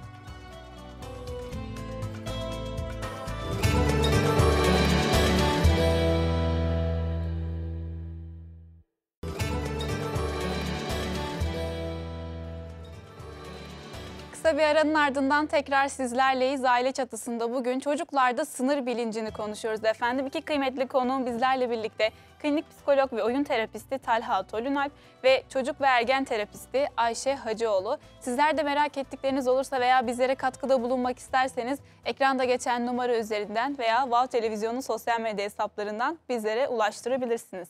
Aradan önce sınır eğitiminin neden önemli olduğundan detaylı bir şekilde bahsettik. Şimdi artık dilerseniz bunu pratiğe nasıl dökebiliriz? Buna biraz detaylandıralım. Sınır bilinci dediğimiz zaman anne ve çocuk arasında yaşanan tartışmalar gözümüzün önüne geliyor. İlk yarıda da örneklendirmeye çalıştık. Bir oyuncakçının önünde çocuğun istediği bir şeyin olmaması sonucu ağlayarak annesine istediğini yaptırmak istemesi veya yine ev ortamında yemek yemek istememesi, okula gitmek istememesi vesaire vesaire ve ebeveynin koyduğu kurallar, sınır ile sorumluluk arasında ciddi bir ilişki olduğundan yine aynı şekilde sınır ile kural arasında ciddi bir ilişki olduğundan bahsettik. Hal böyle olunca da gayet insani bir şey olması gereken sınır bilincinin e, bir sorun halinde bahseder gibi olduk. O halde temelde sorunu yani sınır bilincini sorun yapan şeyi sınırı izah edişimiz olarak yorumlayabilir miyiz? Sınırları koyarkenki ebeveyn yaklaşımımız olarak e, söyleyebilir miyiz diyeyim Talha Hocam. Evet, sınırlar ım, aslında çocuğa nasıl aktardığımızla ilgili. Im, Sınırları doğru aktaramadığımız zaman da başka bir sınır problemi devreye giriyor. Çünkü sınır dediğimiz kavram öncelikle çocuğun sınırı tanımasıyla ilgili bir mesele. Fakat ona tanıtan taraf da önemli. Biz çocuğa sınırları doğru aktaramadığımız takdirde sınırların olmasının bir anlamı olmamış oluyor. Dolayısıyla burada da sınırları çocuğa nasıl aktaracağız kısmı devreye giriyor. İlk oturumda böyle hafiften giriş yapmıştık. Evet. Çocuğa o yüzden sınır koyarken öncelikle onu anladığımızı belirtmemiz gerekiyor. Çünkü her çocuk anlaşılmak ister demiştik.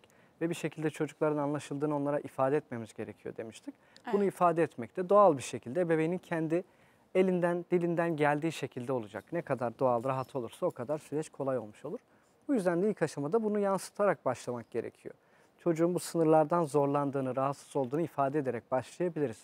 Çocuk bir tepki veriyorsa ya da az önce bahsettiğimiz gibi bir mağazanın önünde ağlıyorsa ilk aşamada ona kuralı, sınırı hatırlatmak yerine önce yansıtma yapmak, buna aynalama da deniyor, yansıtma da deniyor teknik olarak. Ama aslında bu teknik detaylara takılmadan yapmış olduğumuz şey sadece çocuğun yaşadığı durumu ona ifade etmek. Biliyorum senin için bu çok zor, sen bunu çok istiyordun, bu senin en çok istediğin oyuncaktı, yapmayı en çok istediğin şeydi, gitmeyi en çok istediğin yerde deyip ondan sonra ama bunu şu anda yapamayız, ama bunu böyle yapamayız, ama bunu bu şekilde yapamayız ya da bunu değil şunu yapabiliriz gibi böyle bir yere çekmek gerekiyor. Fakat ilk aşamada ebeveynin çocuğa ben seni anlıyorum, bunu istediğin için ağlıyorsun, bunu yapmadığımız için bağırıyorsun gibi bir şeyi aktarması lazım. Bunu da kendi doğal yöntemiyle rahat ettiği şekilde ifade etmesi lazım. Mesajlar net olmalı. Heh, mesajı net aktarmak gerekiyor. Veya başlarda Ayşe Hocam bahsetmişti. Çocuklara çok uzun uzun açıklamalar yapmak da e, işe yaramıyor. Çünkü anne baba şunu hissediyor. Ya bir sürü şey anlatıyoruz bu çocuğa. İzah ediyoruz, tane tane açıklıyoruz hocam. Buradan giriyor, buradan çıkıyor. Çünkü çok konuşuyoruz. Yetişkinler olarak biz çok konuşan varlıklarız ama çocuk böyle değil. Çocuk basit bir varlık. Çocuğa net kısa bir şekilde söyleyip çekilmek gerekiyor. Bu yaptığın yanlış. Duvar boyamak için değil. Şu şöyle yapmak için değil. Bunu böyle yapamayız gibi kısa bir ifadeyle ifade etmek gerekiyor. Dolayısıyla dediğiniz gibi net olmak gerekiyor. Uzatmak gereksiz çocuğu yoruyor ve zihninde böyle bir sanki kelimelerin dönmesine yol açıyor gibi ifade edebiliriz. Yani biz bir sürü bir şey anlatıyoruz ama çocuğun kafasında böyle böyle falan gibi bir şey dönüyor kelimeler. Sonra tamam anneciğim diyor ama hiçbir şey kalmamış oluyor. O yüzden de net ifadelerle kısaca ifade edip çekilmek gerekiyor. Çocuğun meseleyi anlaması, sınırları kavraması için diyebiliriz. Ee, şimdi annelerin nasıl yaklaşacağına dair örnekte bulundunuz ya hocam. İlk yarının sonlarında da aslında bu konuyla alakalı çok güzel bir noktaya temas etmiştik. Onu da tekrar hatırlayalım isterim. Ee, bazen çocuklarımız evet seni anlıyorum, böyle yapmalısın, şöyle demelisin, bunu demek istiyorsun gibi yaklaştığımızda böyle biraz yapay gibi olabiliyor. Biz psikolog olduğumuz için biraz daha böyle naif konuşuyoruz ama anneler, babalar daha doğalında yaklaşabilirler dediniz. Çünkü bazen bu tarz yaklaşımlar da dışarıdan itici olabiliyor ve yapay geliyor insanlara. Burada samimiyet dediğimiz şeyi de tekrar hatırlamak gerekiyor değil mi? Yani samimi olmayan hiçbir şey çocuğa da geçmiyor çünkü. Değil mi Ayşe Hocam? Evet. Ee, bir örnek verebilirim aslında bu konuya. Ee, hepimizin aslında her dönem evinde rastladığımız bir durumdur bu çocuklu evlerde. Duvar boyama, kanepe boyama, halı boyama, işte parkeleri, buzdolabını. Ee, o çocuk boyuyor. Bir keşif döneminde aslında. İşte o çocuğa senin bir odan var, ee, burası senin odan. Ee, burada istediğin oyuncağı, istediğin kalemle, artık bu sizin kendi sınırınız bu arada. İstersen boyayabilirsin ya da duvardan duvara bir parşömen kağıdı varsa. E, senin orada kağıtların var, e, orada boyama yapmalısın. Ama bu odanın dışarısına çıktığında, başka bir yeri boyadığında mecburen e, boyamanı elinden almak mecburiyetinde kalabiliriz. Evet, çocuk bunu deneyecektir e, ve boyayacaktır. E, ve tekrar bir hatırlatma yapılmalıdır orada. Anneciğim, babacığım seninle biz bunu konuşmuştuk. E, mecburen hani kalemini alıp kaldırmak mecburiyetindeyim ben e, deyip hani ondan sonra çocukta bir öfke olabilir. Belki orada bir dikkat dağıtma. Hadi gel bakalım beraber e, şu etkinliği yapalım. Aslında o duyguyu başka bir yere kanalize etmeyi öğrenme. E, çünkü orada bir öfke krizi başlayacak ister istemez. Hani onu o krizi iyi yönetebilen e, ebeveyn olarak iyi okumamız lazım aslında. Evet net sınırı koydum ben orada ama ondan sonra ne yapacağım? Çocuk ağlayacak izin mi vereceğim? Belki bir noktada hayır. Ağlayabilirsin belki. İşte ama bunu yapmak mecburiyetindeyiz. Ee, kısa, net, anlaşılır ve tutarlı bir e, tavırla bunu yapmamız lazım. Hı hı. Sadece sözle değil tavırla da Aynen. bunu hissettirmemiz gerekiyor. Peki e, sınır bilincinin çocuklara aşılanması gerektiğini programın başından beri izah ediyoruz değil mi? E, hem başkalarının sınırlarını ihlal etmemesi gerekiyor hem de bizler çocuklarımızın sınırlarını e, ihlal etmeyeceğiz. Belli bir yere kadar dikkat etmemiz gerekiyor ve birey olduğunu hissettirmemiz gerekiyor. Bilincine vardık. Teorikte zihnimizde oturdu. Peki bunu meleke haline nasıl getireceğiz? Aslında biraz yavaş yavaş örnekler verdik ama daha detaylandıralım istiyorum. Ee, nasıl beceri haline gelecek bu? Yani anne ve baba da bu nasıl rutine binecek? Çocuğu bu anlamda nasıl eğiteceğiz? İşte orada e, hayır yapmamalısın dediğimiz anda çocuk ağlıyorsa, öfke patlaması yaşıyorsa oradaki o iradeyi nasıl gösterebiliriz? Dilerseniz artık pratik e, yöntemlerden bahsedelim Ayşe Hocam. Olur. Ee, aslında diyoruz işte o ağlama krizleri ağlayabilir. Bu bir iletişim aracı aslında çocukların. Ee, bizler de ağlayabiliyoruz. Çocuklar da ağlayabilir. Gayet normal bir davranış biçimi aslında. Çocuk orada aslında bir iletişim olarak bunu gösteriyor değil mi? Bebekler dünyaya geldiğinde ağlayarak dünyaya gelir. Ben buradayım beni gör. Evet. O zaman bu davranışı sabit ve istikrarlı bir şekilde korumamız için ne yapmamız lazım? Onun kapsandığını belli ederek aslında net sınırlar. İşte e, bizim aslında çok e, kalıp bir cümlemiz var. E, hatta bazen e, terapi sürecinde ebeveynlerle görüşümde hocam bir dakika dur ben bunu yazabilir miyim ya? Bir dakika bu kadar aslında e, Bizimle de paylaşır mısınız hocam? Şöyle, e, Nilcim hani bu tableti alıyorsun, e, şu kadar bir süre var. E, tableti süresine geri getirmeyi tercih etmediğinde bunu kendin seçmiş oluyorsun. E, ve bunun e, neticesinde aslında çok sevdiği bir şeyden mahrum kalacağı noktasında bir cümle tamamlama. Aslında artık bu bizim ağzımıza belki bir e, pelesenk olduğu için daha rahat kullanabiliriz ama bunu hiçbirini bilmeyen bir ebeveyn hocam ceza mı veriyorum ben? Şimdi şu an ben ceza yaptım. Ben çocuğuma cezayla büyütmek istemiyorum diyebilir. Orada çok ince bir çizgi var aslında. Ceza değil. Bu sınır çizmek orada. İşte 45 dakika senin tablet süren var. Ee, 45 dakikanın sonunda lütfen tabletini bana getirebilir misin? Ben genellikle şey diyorum, belki bir hatırlatıcı kurabilirler e, arkasına. Çocuk en azından bilir. Son 10 dakika, hadi bakalım bizim de oyun odasına yattığımız, hadi oyuncakları şimdi toplamamız gerekiyor diye. Ya da işte tabletini ge- 10 dakika sonra ekran süren bitiyor. İşte ek tabletini bana getirebilirsin. Çocuk getirmiyor. Ee, o zaman ne yapabiliriz? Çek, yani çocuğun elinden çekip tableti almak birazcık reddedici de olabilir. Ee, ben genellikle şey diyorum, e, onun şarjı bitecektir. Birazcık daha bekleyebiliriz. Ondan sonrasında ama orada aslında bunu sen kendin tercih etmiş oldun. Bu süreyi uzatmayı sen kendin seçtin. O zaman yarın e, ya da işte çok kısıtlı bu arada. Yani bir haftalık bir mahrumiyetten bahsetmiyoruz biz orada. Çok kısa bir süre. Çünkü bir haftada kimse bunu koruyamaz evinde ebeveyn olarak. Yarın ekran sürenden mecburen e, mahrum kalmak durumunda kalabilirsin gibi. E, o yüzden burada pratiğe dökerken aslında sakin, net, tutarlı ve istikrarlı durmamız lazım. O ilk 1-2 ay bu ağlama krizleri devam edecektir. Birazcık daha istikrarlı durursak emin olun oturacak. Çünkü çocuk orada sınır kavramını öğreniyor.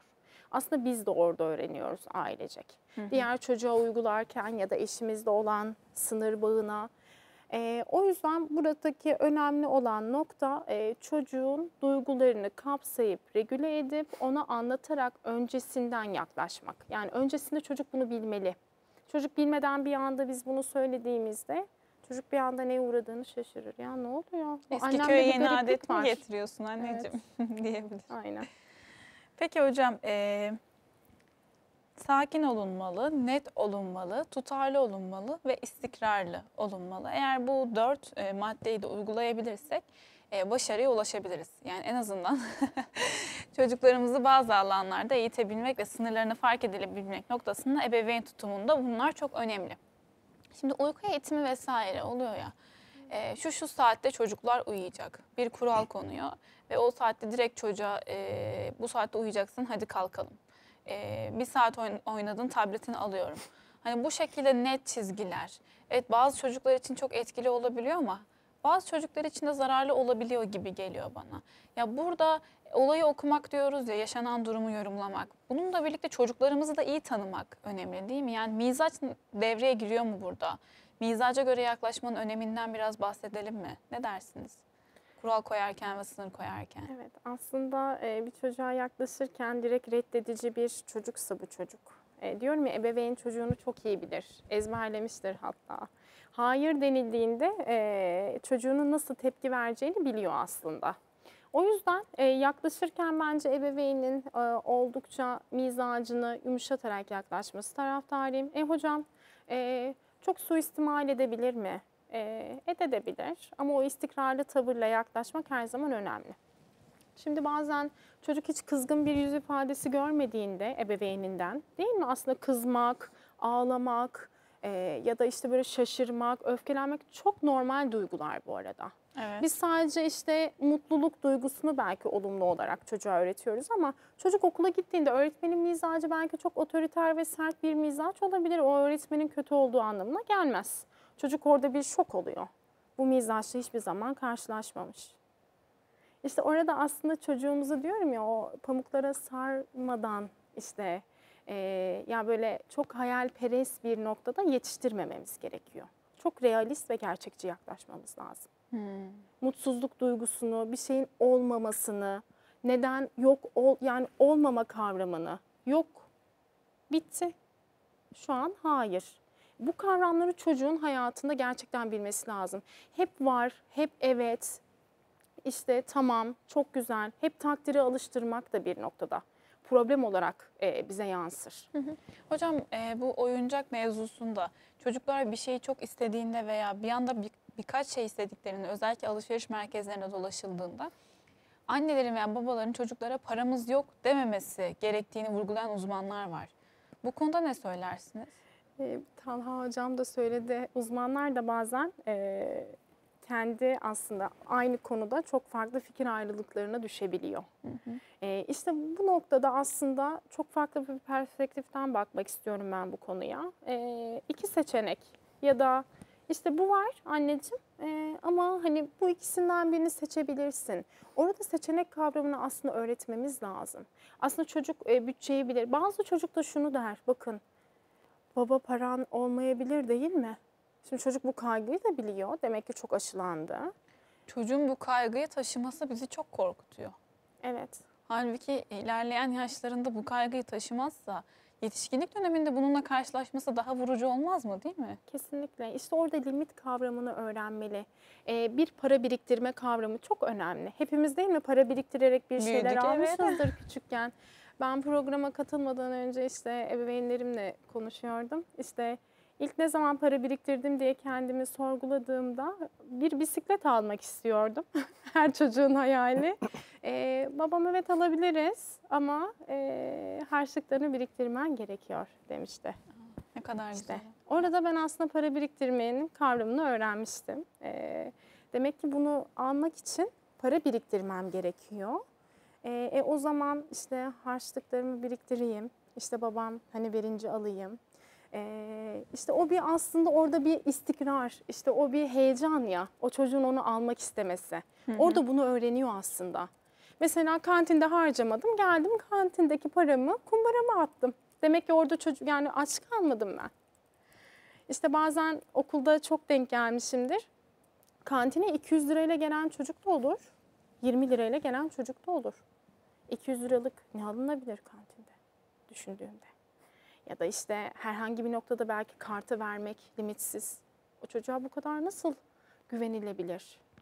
Çocuktan bahsediyoruz sonuçta. Ee, o yüzden bu konularda bence ilk olarak, deneyim olarak e, bizim nasıl bir yaşantıda büyüdüğümüz, uyguladığımız önemli. Bir çocuğun para biriktirmesi gerekir kumbarasında. Bu maddi durumu fark etmeksizin değil mi? Evet. Ya sadece lira da. yokluk zamanında biriktirmeyi öğrenmesi evet çok kıymetli ama varken de biriktirebilmeyi bilmesi lazım. Onu verebilmesi belki. Verebilmesi, Çünkü paylaşabilmesi. vermeyi e, öğrenmemiz biraz zor olabiliyor yetişkinlik kısmında da. Hep isteriz ama verme noktasında belki çok iyi değilizdir. Ya da istemeyi bilmiyoruzdur. O yüzden aslında çocukluk sürecinde bu verme kavramını, alma kavramını iyi idrak etmeli çocuk. Çünkü yetişkinlik sürecinde işte biz konuştuk ya, işte toksik, iç içe geçme, işte her şeyine karışan ebeveyn olma ya da çok salık, geri planda ebeveyn olma. Hepsi aslında bu dengelerde sınırlı. Bir terazi gibi düşünelim bunu. Bir tarafa çok fazla ağırlık koyduğumuzda diğer taraf yükselir. İşte o yüzden burada den- yani terazideki dengeyi iyi oturtmamız lazım. Bir çocuğa ne diyorsak diğerine de aynısını uygulamamız lazım. Çocuklar görür, unutmaz. Böyle. Ee, her konuyu açtığımızda farklı konular Evet. açılıyor. Ee, hepsi çok kıymetli. Bir yandan da soru sıramı da kaçırmak istemiyorum. Ee, ama ağzınıza sağlık hocam. Sizin eklemek istediğiniz bir husus var mı hocamın e, bahsettiği konularla alakalı? Evet yani hocamızın bahsettiklerin kesinlikle benim de katıldığım konular. Çünkü şu önemli.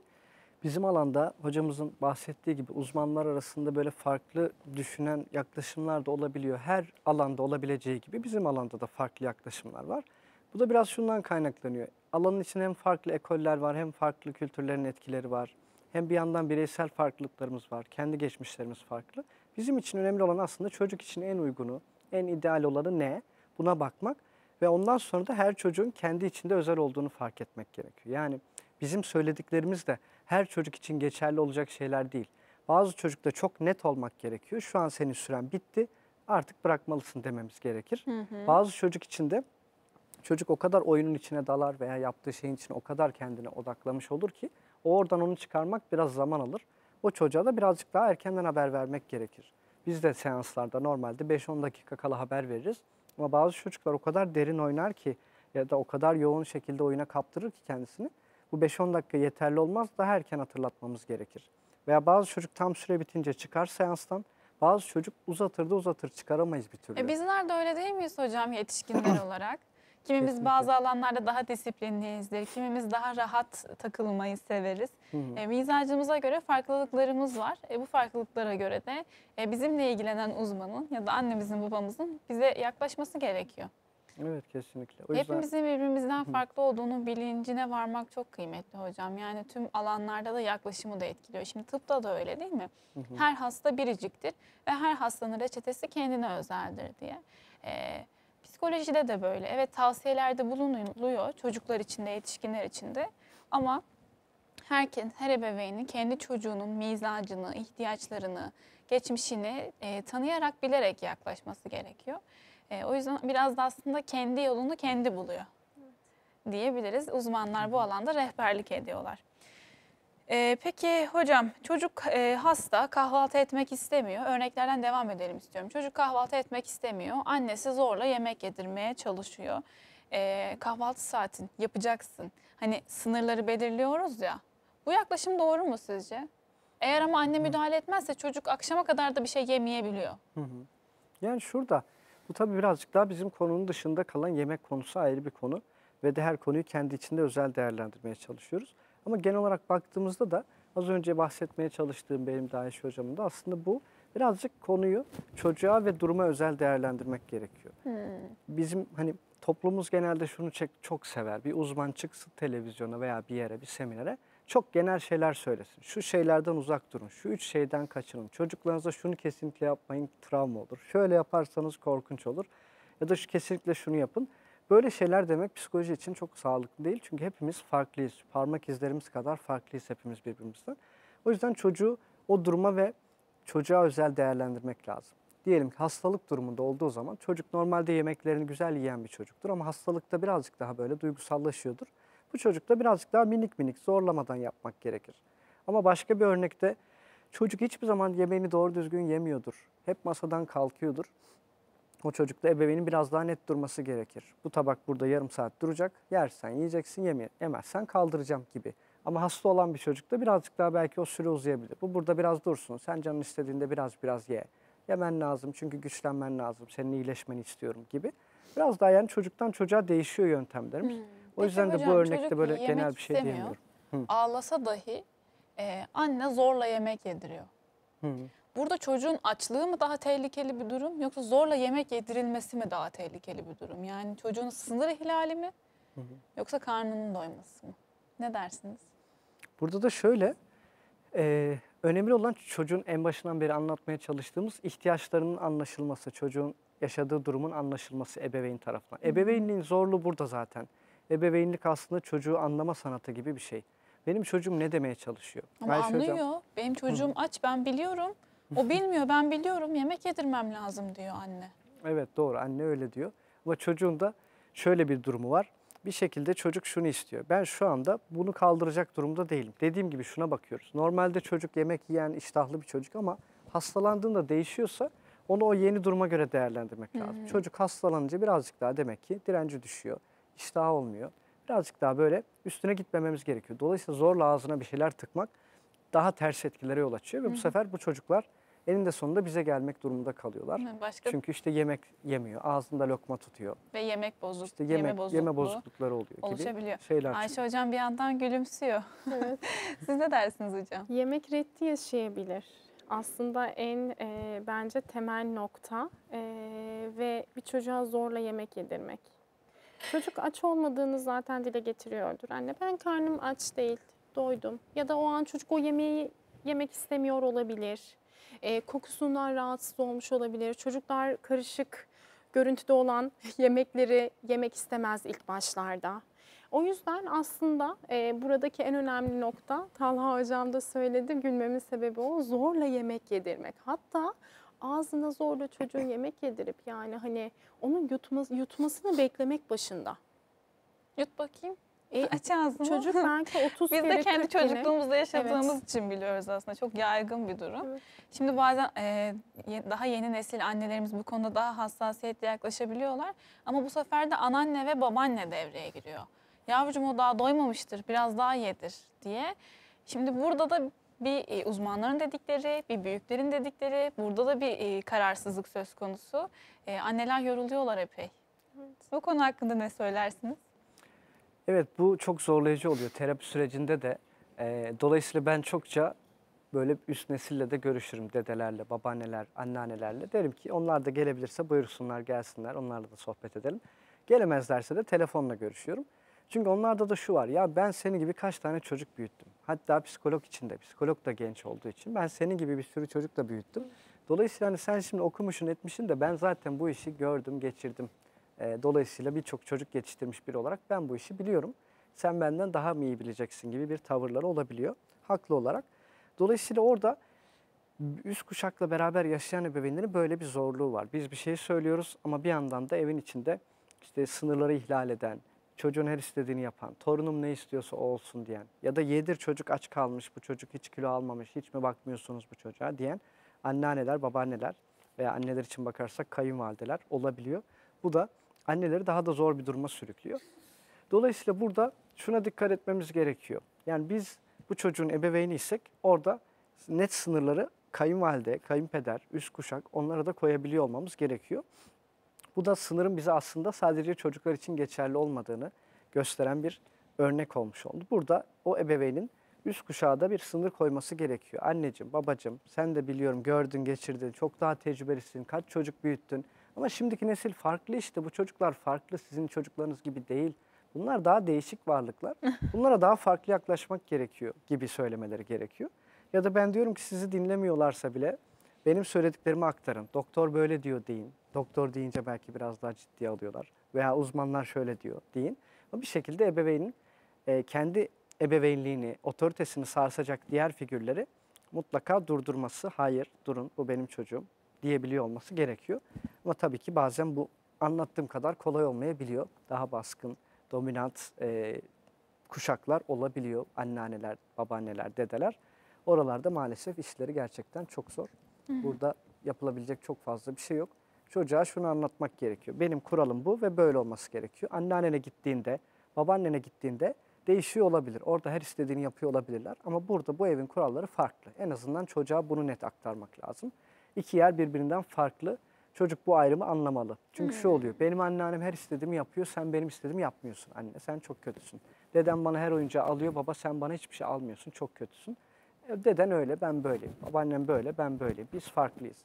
Veya başka veliler. Hemen İşte o duyguyu almamak alıyor. gerekiyor değil mi? Sen Evet, kötüsün evet. dediğinde tetikleniyoruz biz. Evet. Orada bir vazgeçebiliyoruz sanki. Yani çocuğumuz söyleyebilir böyle şeyler. Buradan hemen alınıp e, kararımızdan dönmemek gerekiyor. Dört madde saydık ya aslında bunu sık sık tekrar etmekte fayda var.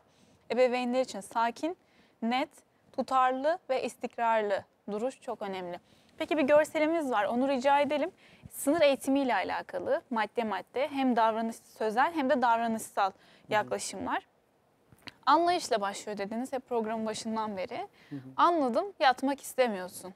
Uyumak istemeyen bir çocuk üzerinden e, örneklendirerek devam edebiliriz. Sonrasında hocam kural. Ama şimdi oyun vakti değil, uyuma vakti. Hı hı, evet. Eğer kurala da uymadıysa, Ayşe hocam da programın başında ifade etmişti, alternatif üretmemiz gerekiyor. İstersen hafta sonu daha geç yatabilirsin. Bunu hatırlatmak. Peki, alternatif de ürettik, yine olmadı. Sonrasında ne yapacağız? Dilerseniz sonrasında siz devam edin. Evet yani bu ilk saydığınız üç madde daha sözel yöntemler. Yani daha medeni yöntemler olarak da ifade edebiliriz. Yani konuşarak anlaşabiliriz ikimiz bak yavrum gibi bir yaklaşım aslında. Bunları yaptık. Biliyorum sen bunu yapmak istiyorsun ama bunu şu anda yapamayız. İstersen bunu şu gün yapabiliriz, şöyle yapabiliriz. Bir alternatif sundum. Yine de çocuğum çok böyle inatçı bir çocuk ve diyor ki hayır bana ne ben şimdi yatmayacağım, ben yapmayacağım bana ne diyor ve birazcık daha artık işin rengi değişti. Çocuk biraz daha belki vurmaya başladı. Bu sefer artık sözel yöntemlerden çıkıp fiziksel yöntemlere, davranışsal yöntemlere geçiyoruz. Çünkü bazı çocuk gerçekten şeyi istiyor. Fiziksel olarak kapsanmayı istiyor. Beni birisi fiziksel olarak durdurabilsin, yönetebilsin, kontrol edebilsin. Buradaki amacımız da şu değil, yanlış anlaşılmasın. Çocuğa gücümüzü göstermek, onu sıkıştırmak, onu aşağılamak veya onun canını acıtmak değil kesinlikle. Sadece şunu hissettirmek. En başta dedim ya çocuk ebeveynin güçlü olmasını ister. Bu gücü göstermek bu yöntemlerle oluyor. Davranışsal olarak çocuğa aslında bunu anlatmış oluyoruz. Sen konuşarak bir şeyleri yapamıyorsun, zorlanıyorsun. Dolayısıyla biz bunu birazcık daha farklı bir yere çekelim. Biraz daha davranışsal gidelim demiş oluyoruz. Bu davranışsal yöntemlerde de bu yüzden bunları uyguluyoruz. Bu arkamızda gördüğümüz üç madde yine sırasıyla uygulanmış oluyor aslında. Mahrumiyet, fiziksel bloke, seçenekli müdahale. Açalım mı hocam mahrumiyet? Mahrumiyet az önce Ayşe hocamız bahsetti zaten.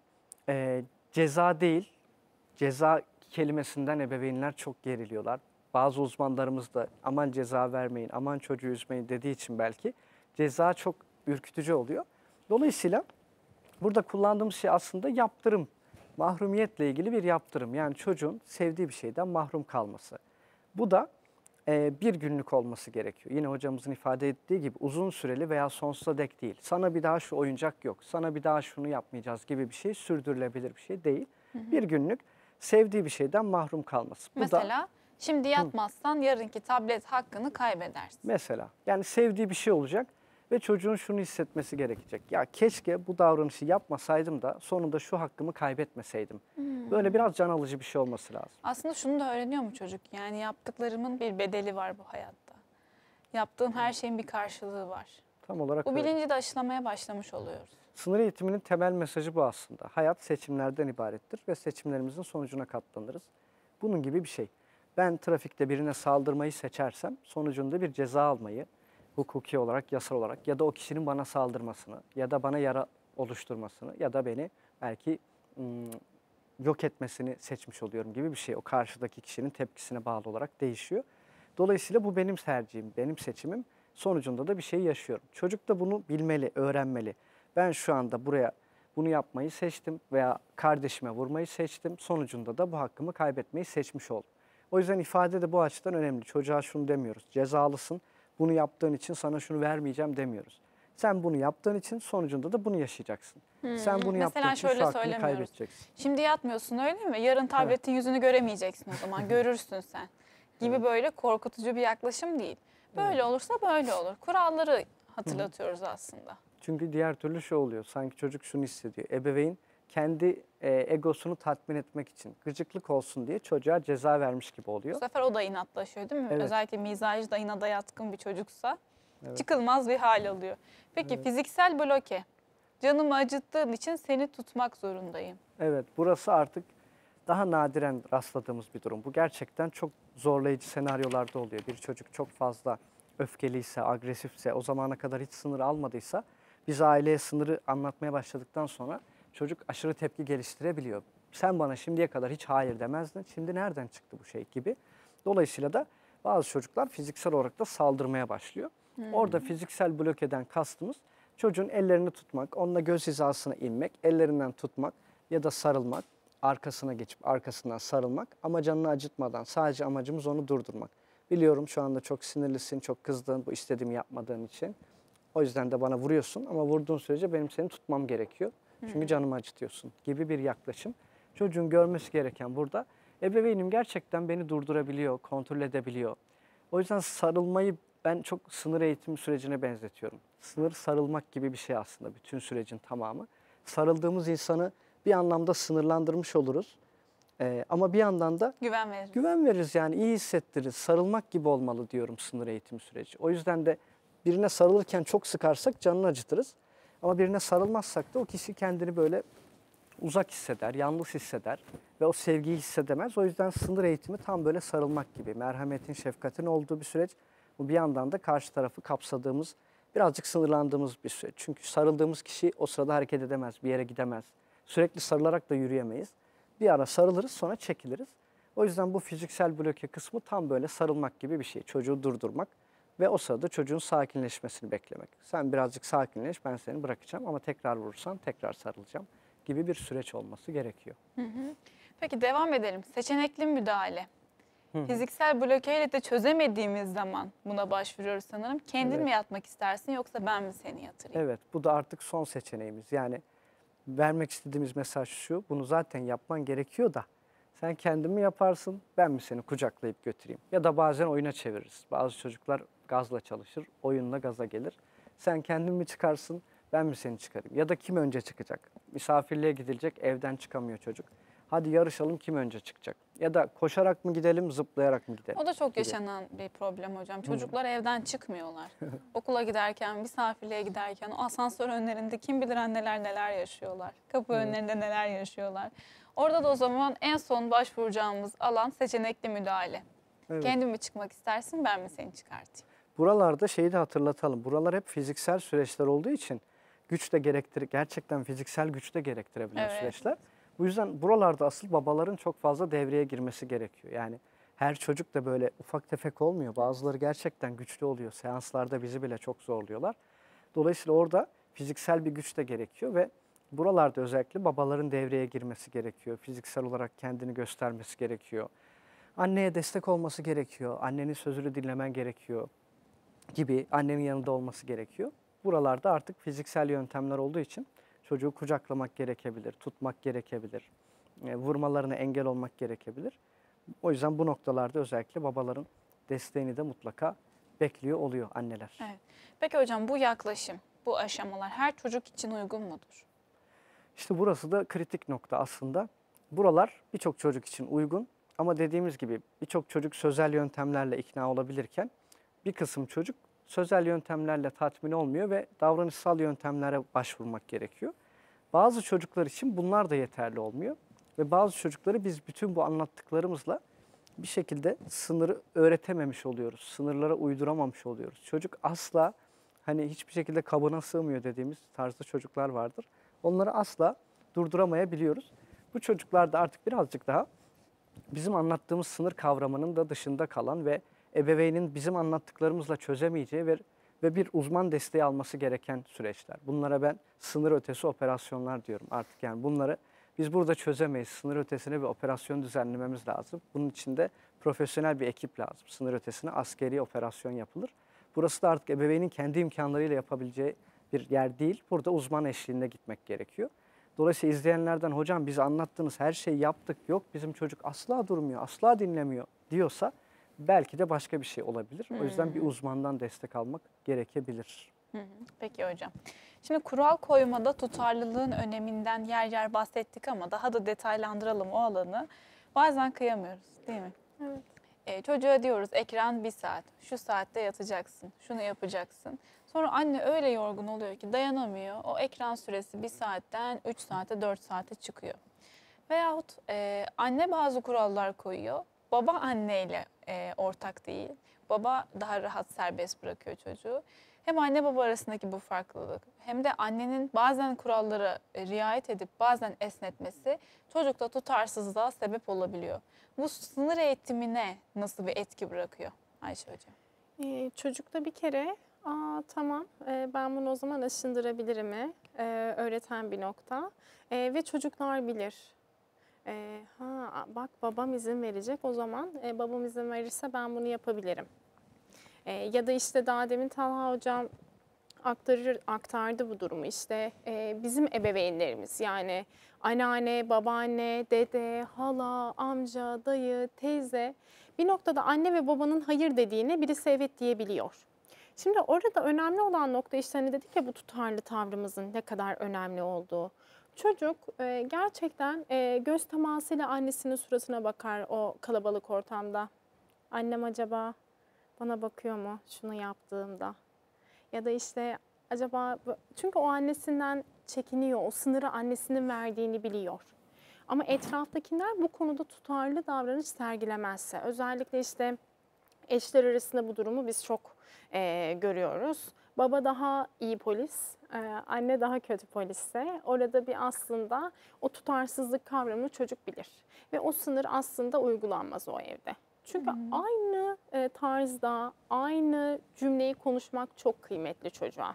Kesinlikle. Anneciğim bunu yapmamalıyız. Çünkü bu sebepten ötürü e, ya da babacığım e, lütfen hani bunu yapmamalıyız. Ya da şöyle bir durum. E, bir annenle istişare edelim biz bir dakika. Sana e, cevabımızı beraber söyleyeceğiz diyebilmek. Yani oradaki birlikteliği de çocuk bilsin. Sadece anne değil, sadece baba değil buradaki asıl e, cevap noktasındaki çocuktaki yaratan nokta.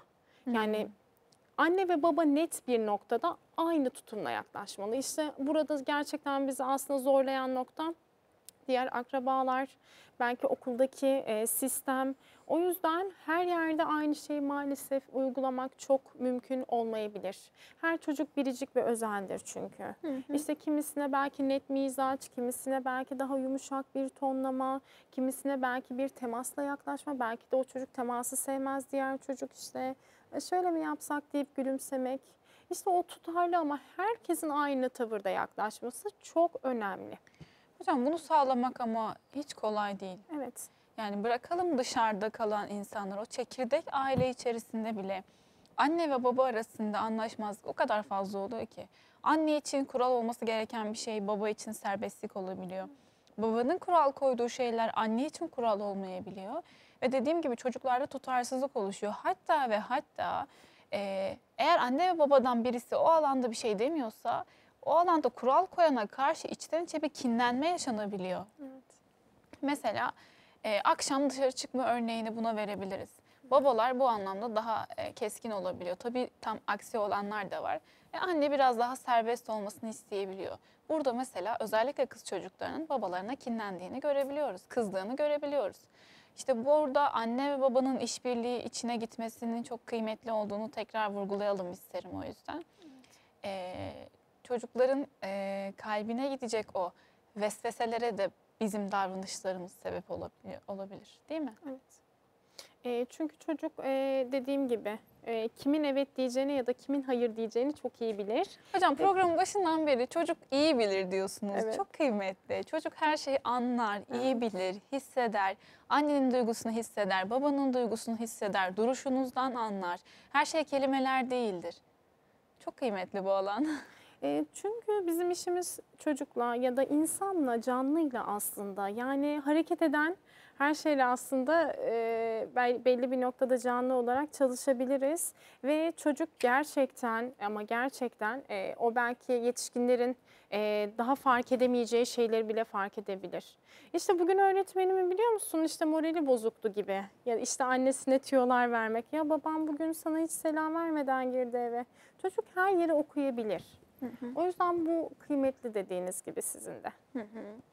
Peki hocam, e, sınıra ve sorumluluğa farklı bir pencereden bakalım istiyorum. Programımızın da sonuna doğru yaklaştık.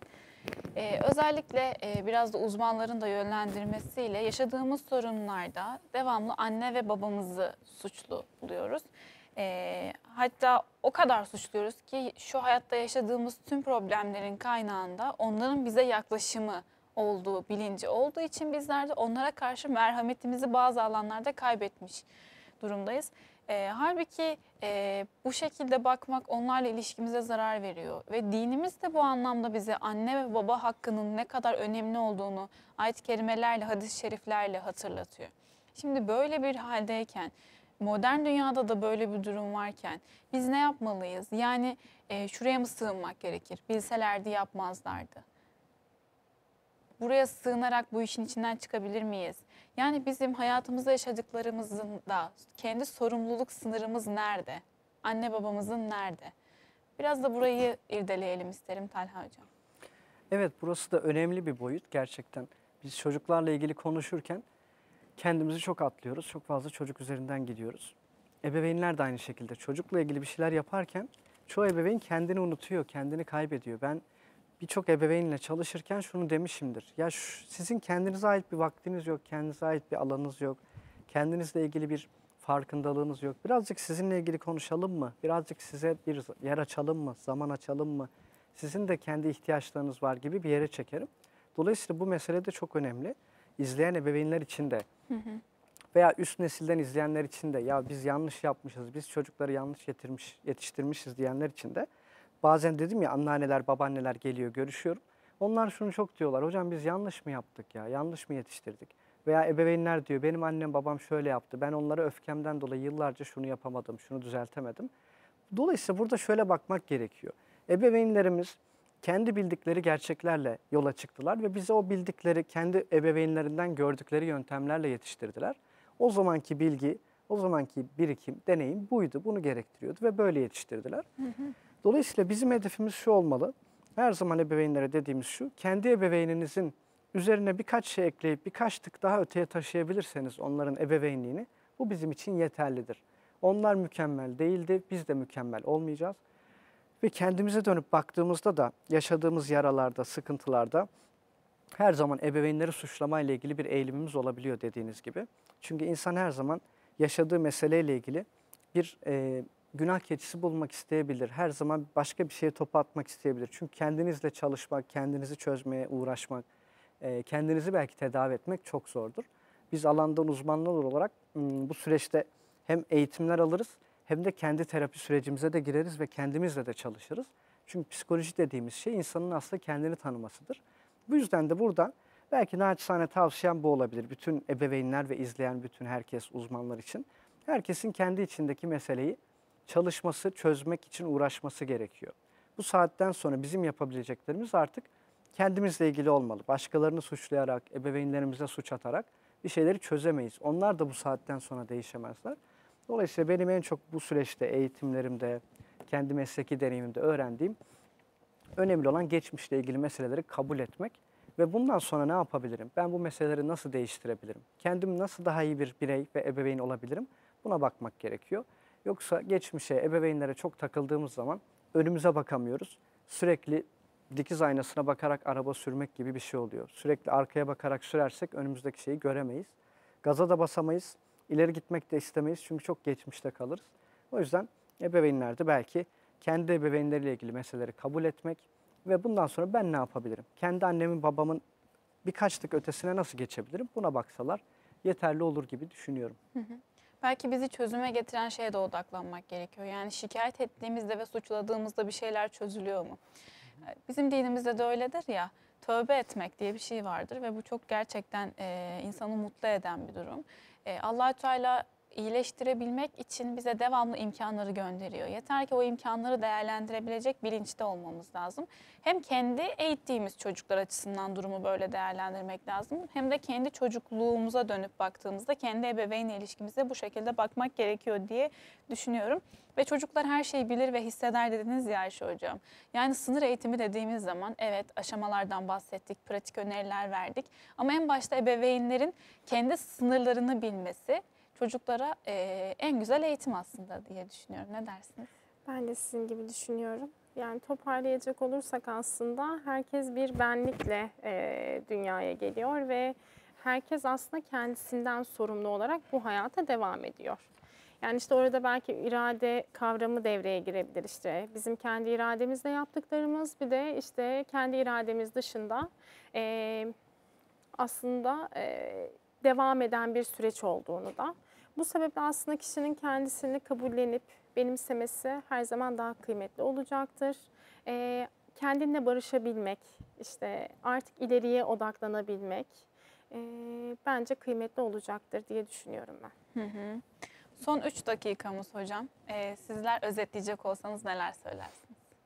Şunu söylemek isterim galiba. Yani ben oradan izleyen birisi olsam yani televizyonu açtım ve karşımda uzmanlar var. Onları izleyen biri olsam şunu duymak isterdim. O yüzden de bunu söylemek istiyorum galiba. Hmm, O yüzden bu direkt ebeveynlere hitap edeceğim bir kısım olmuş olacak.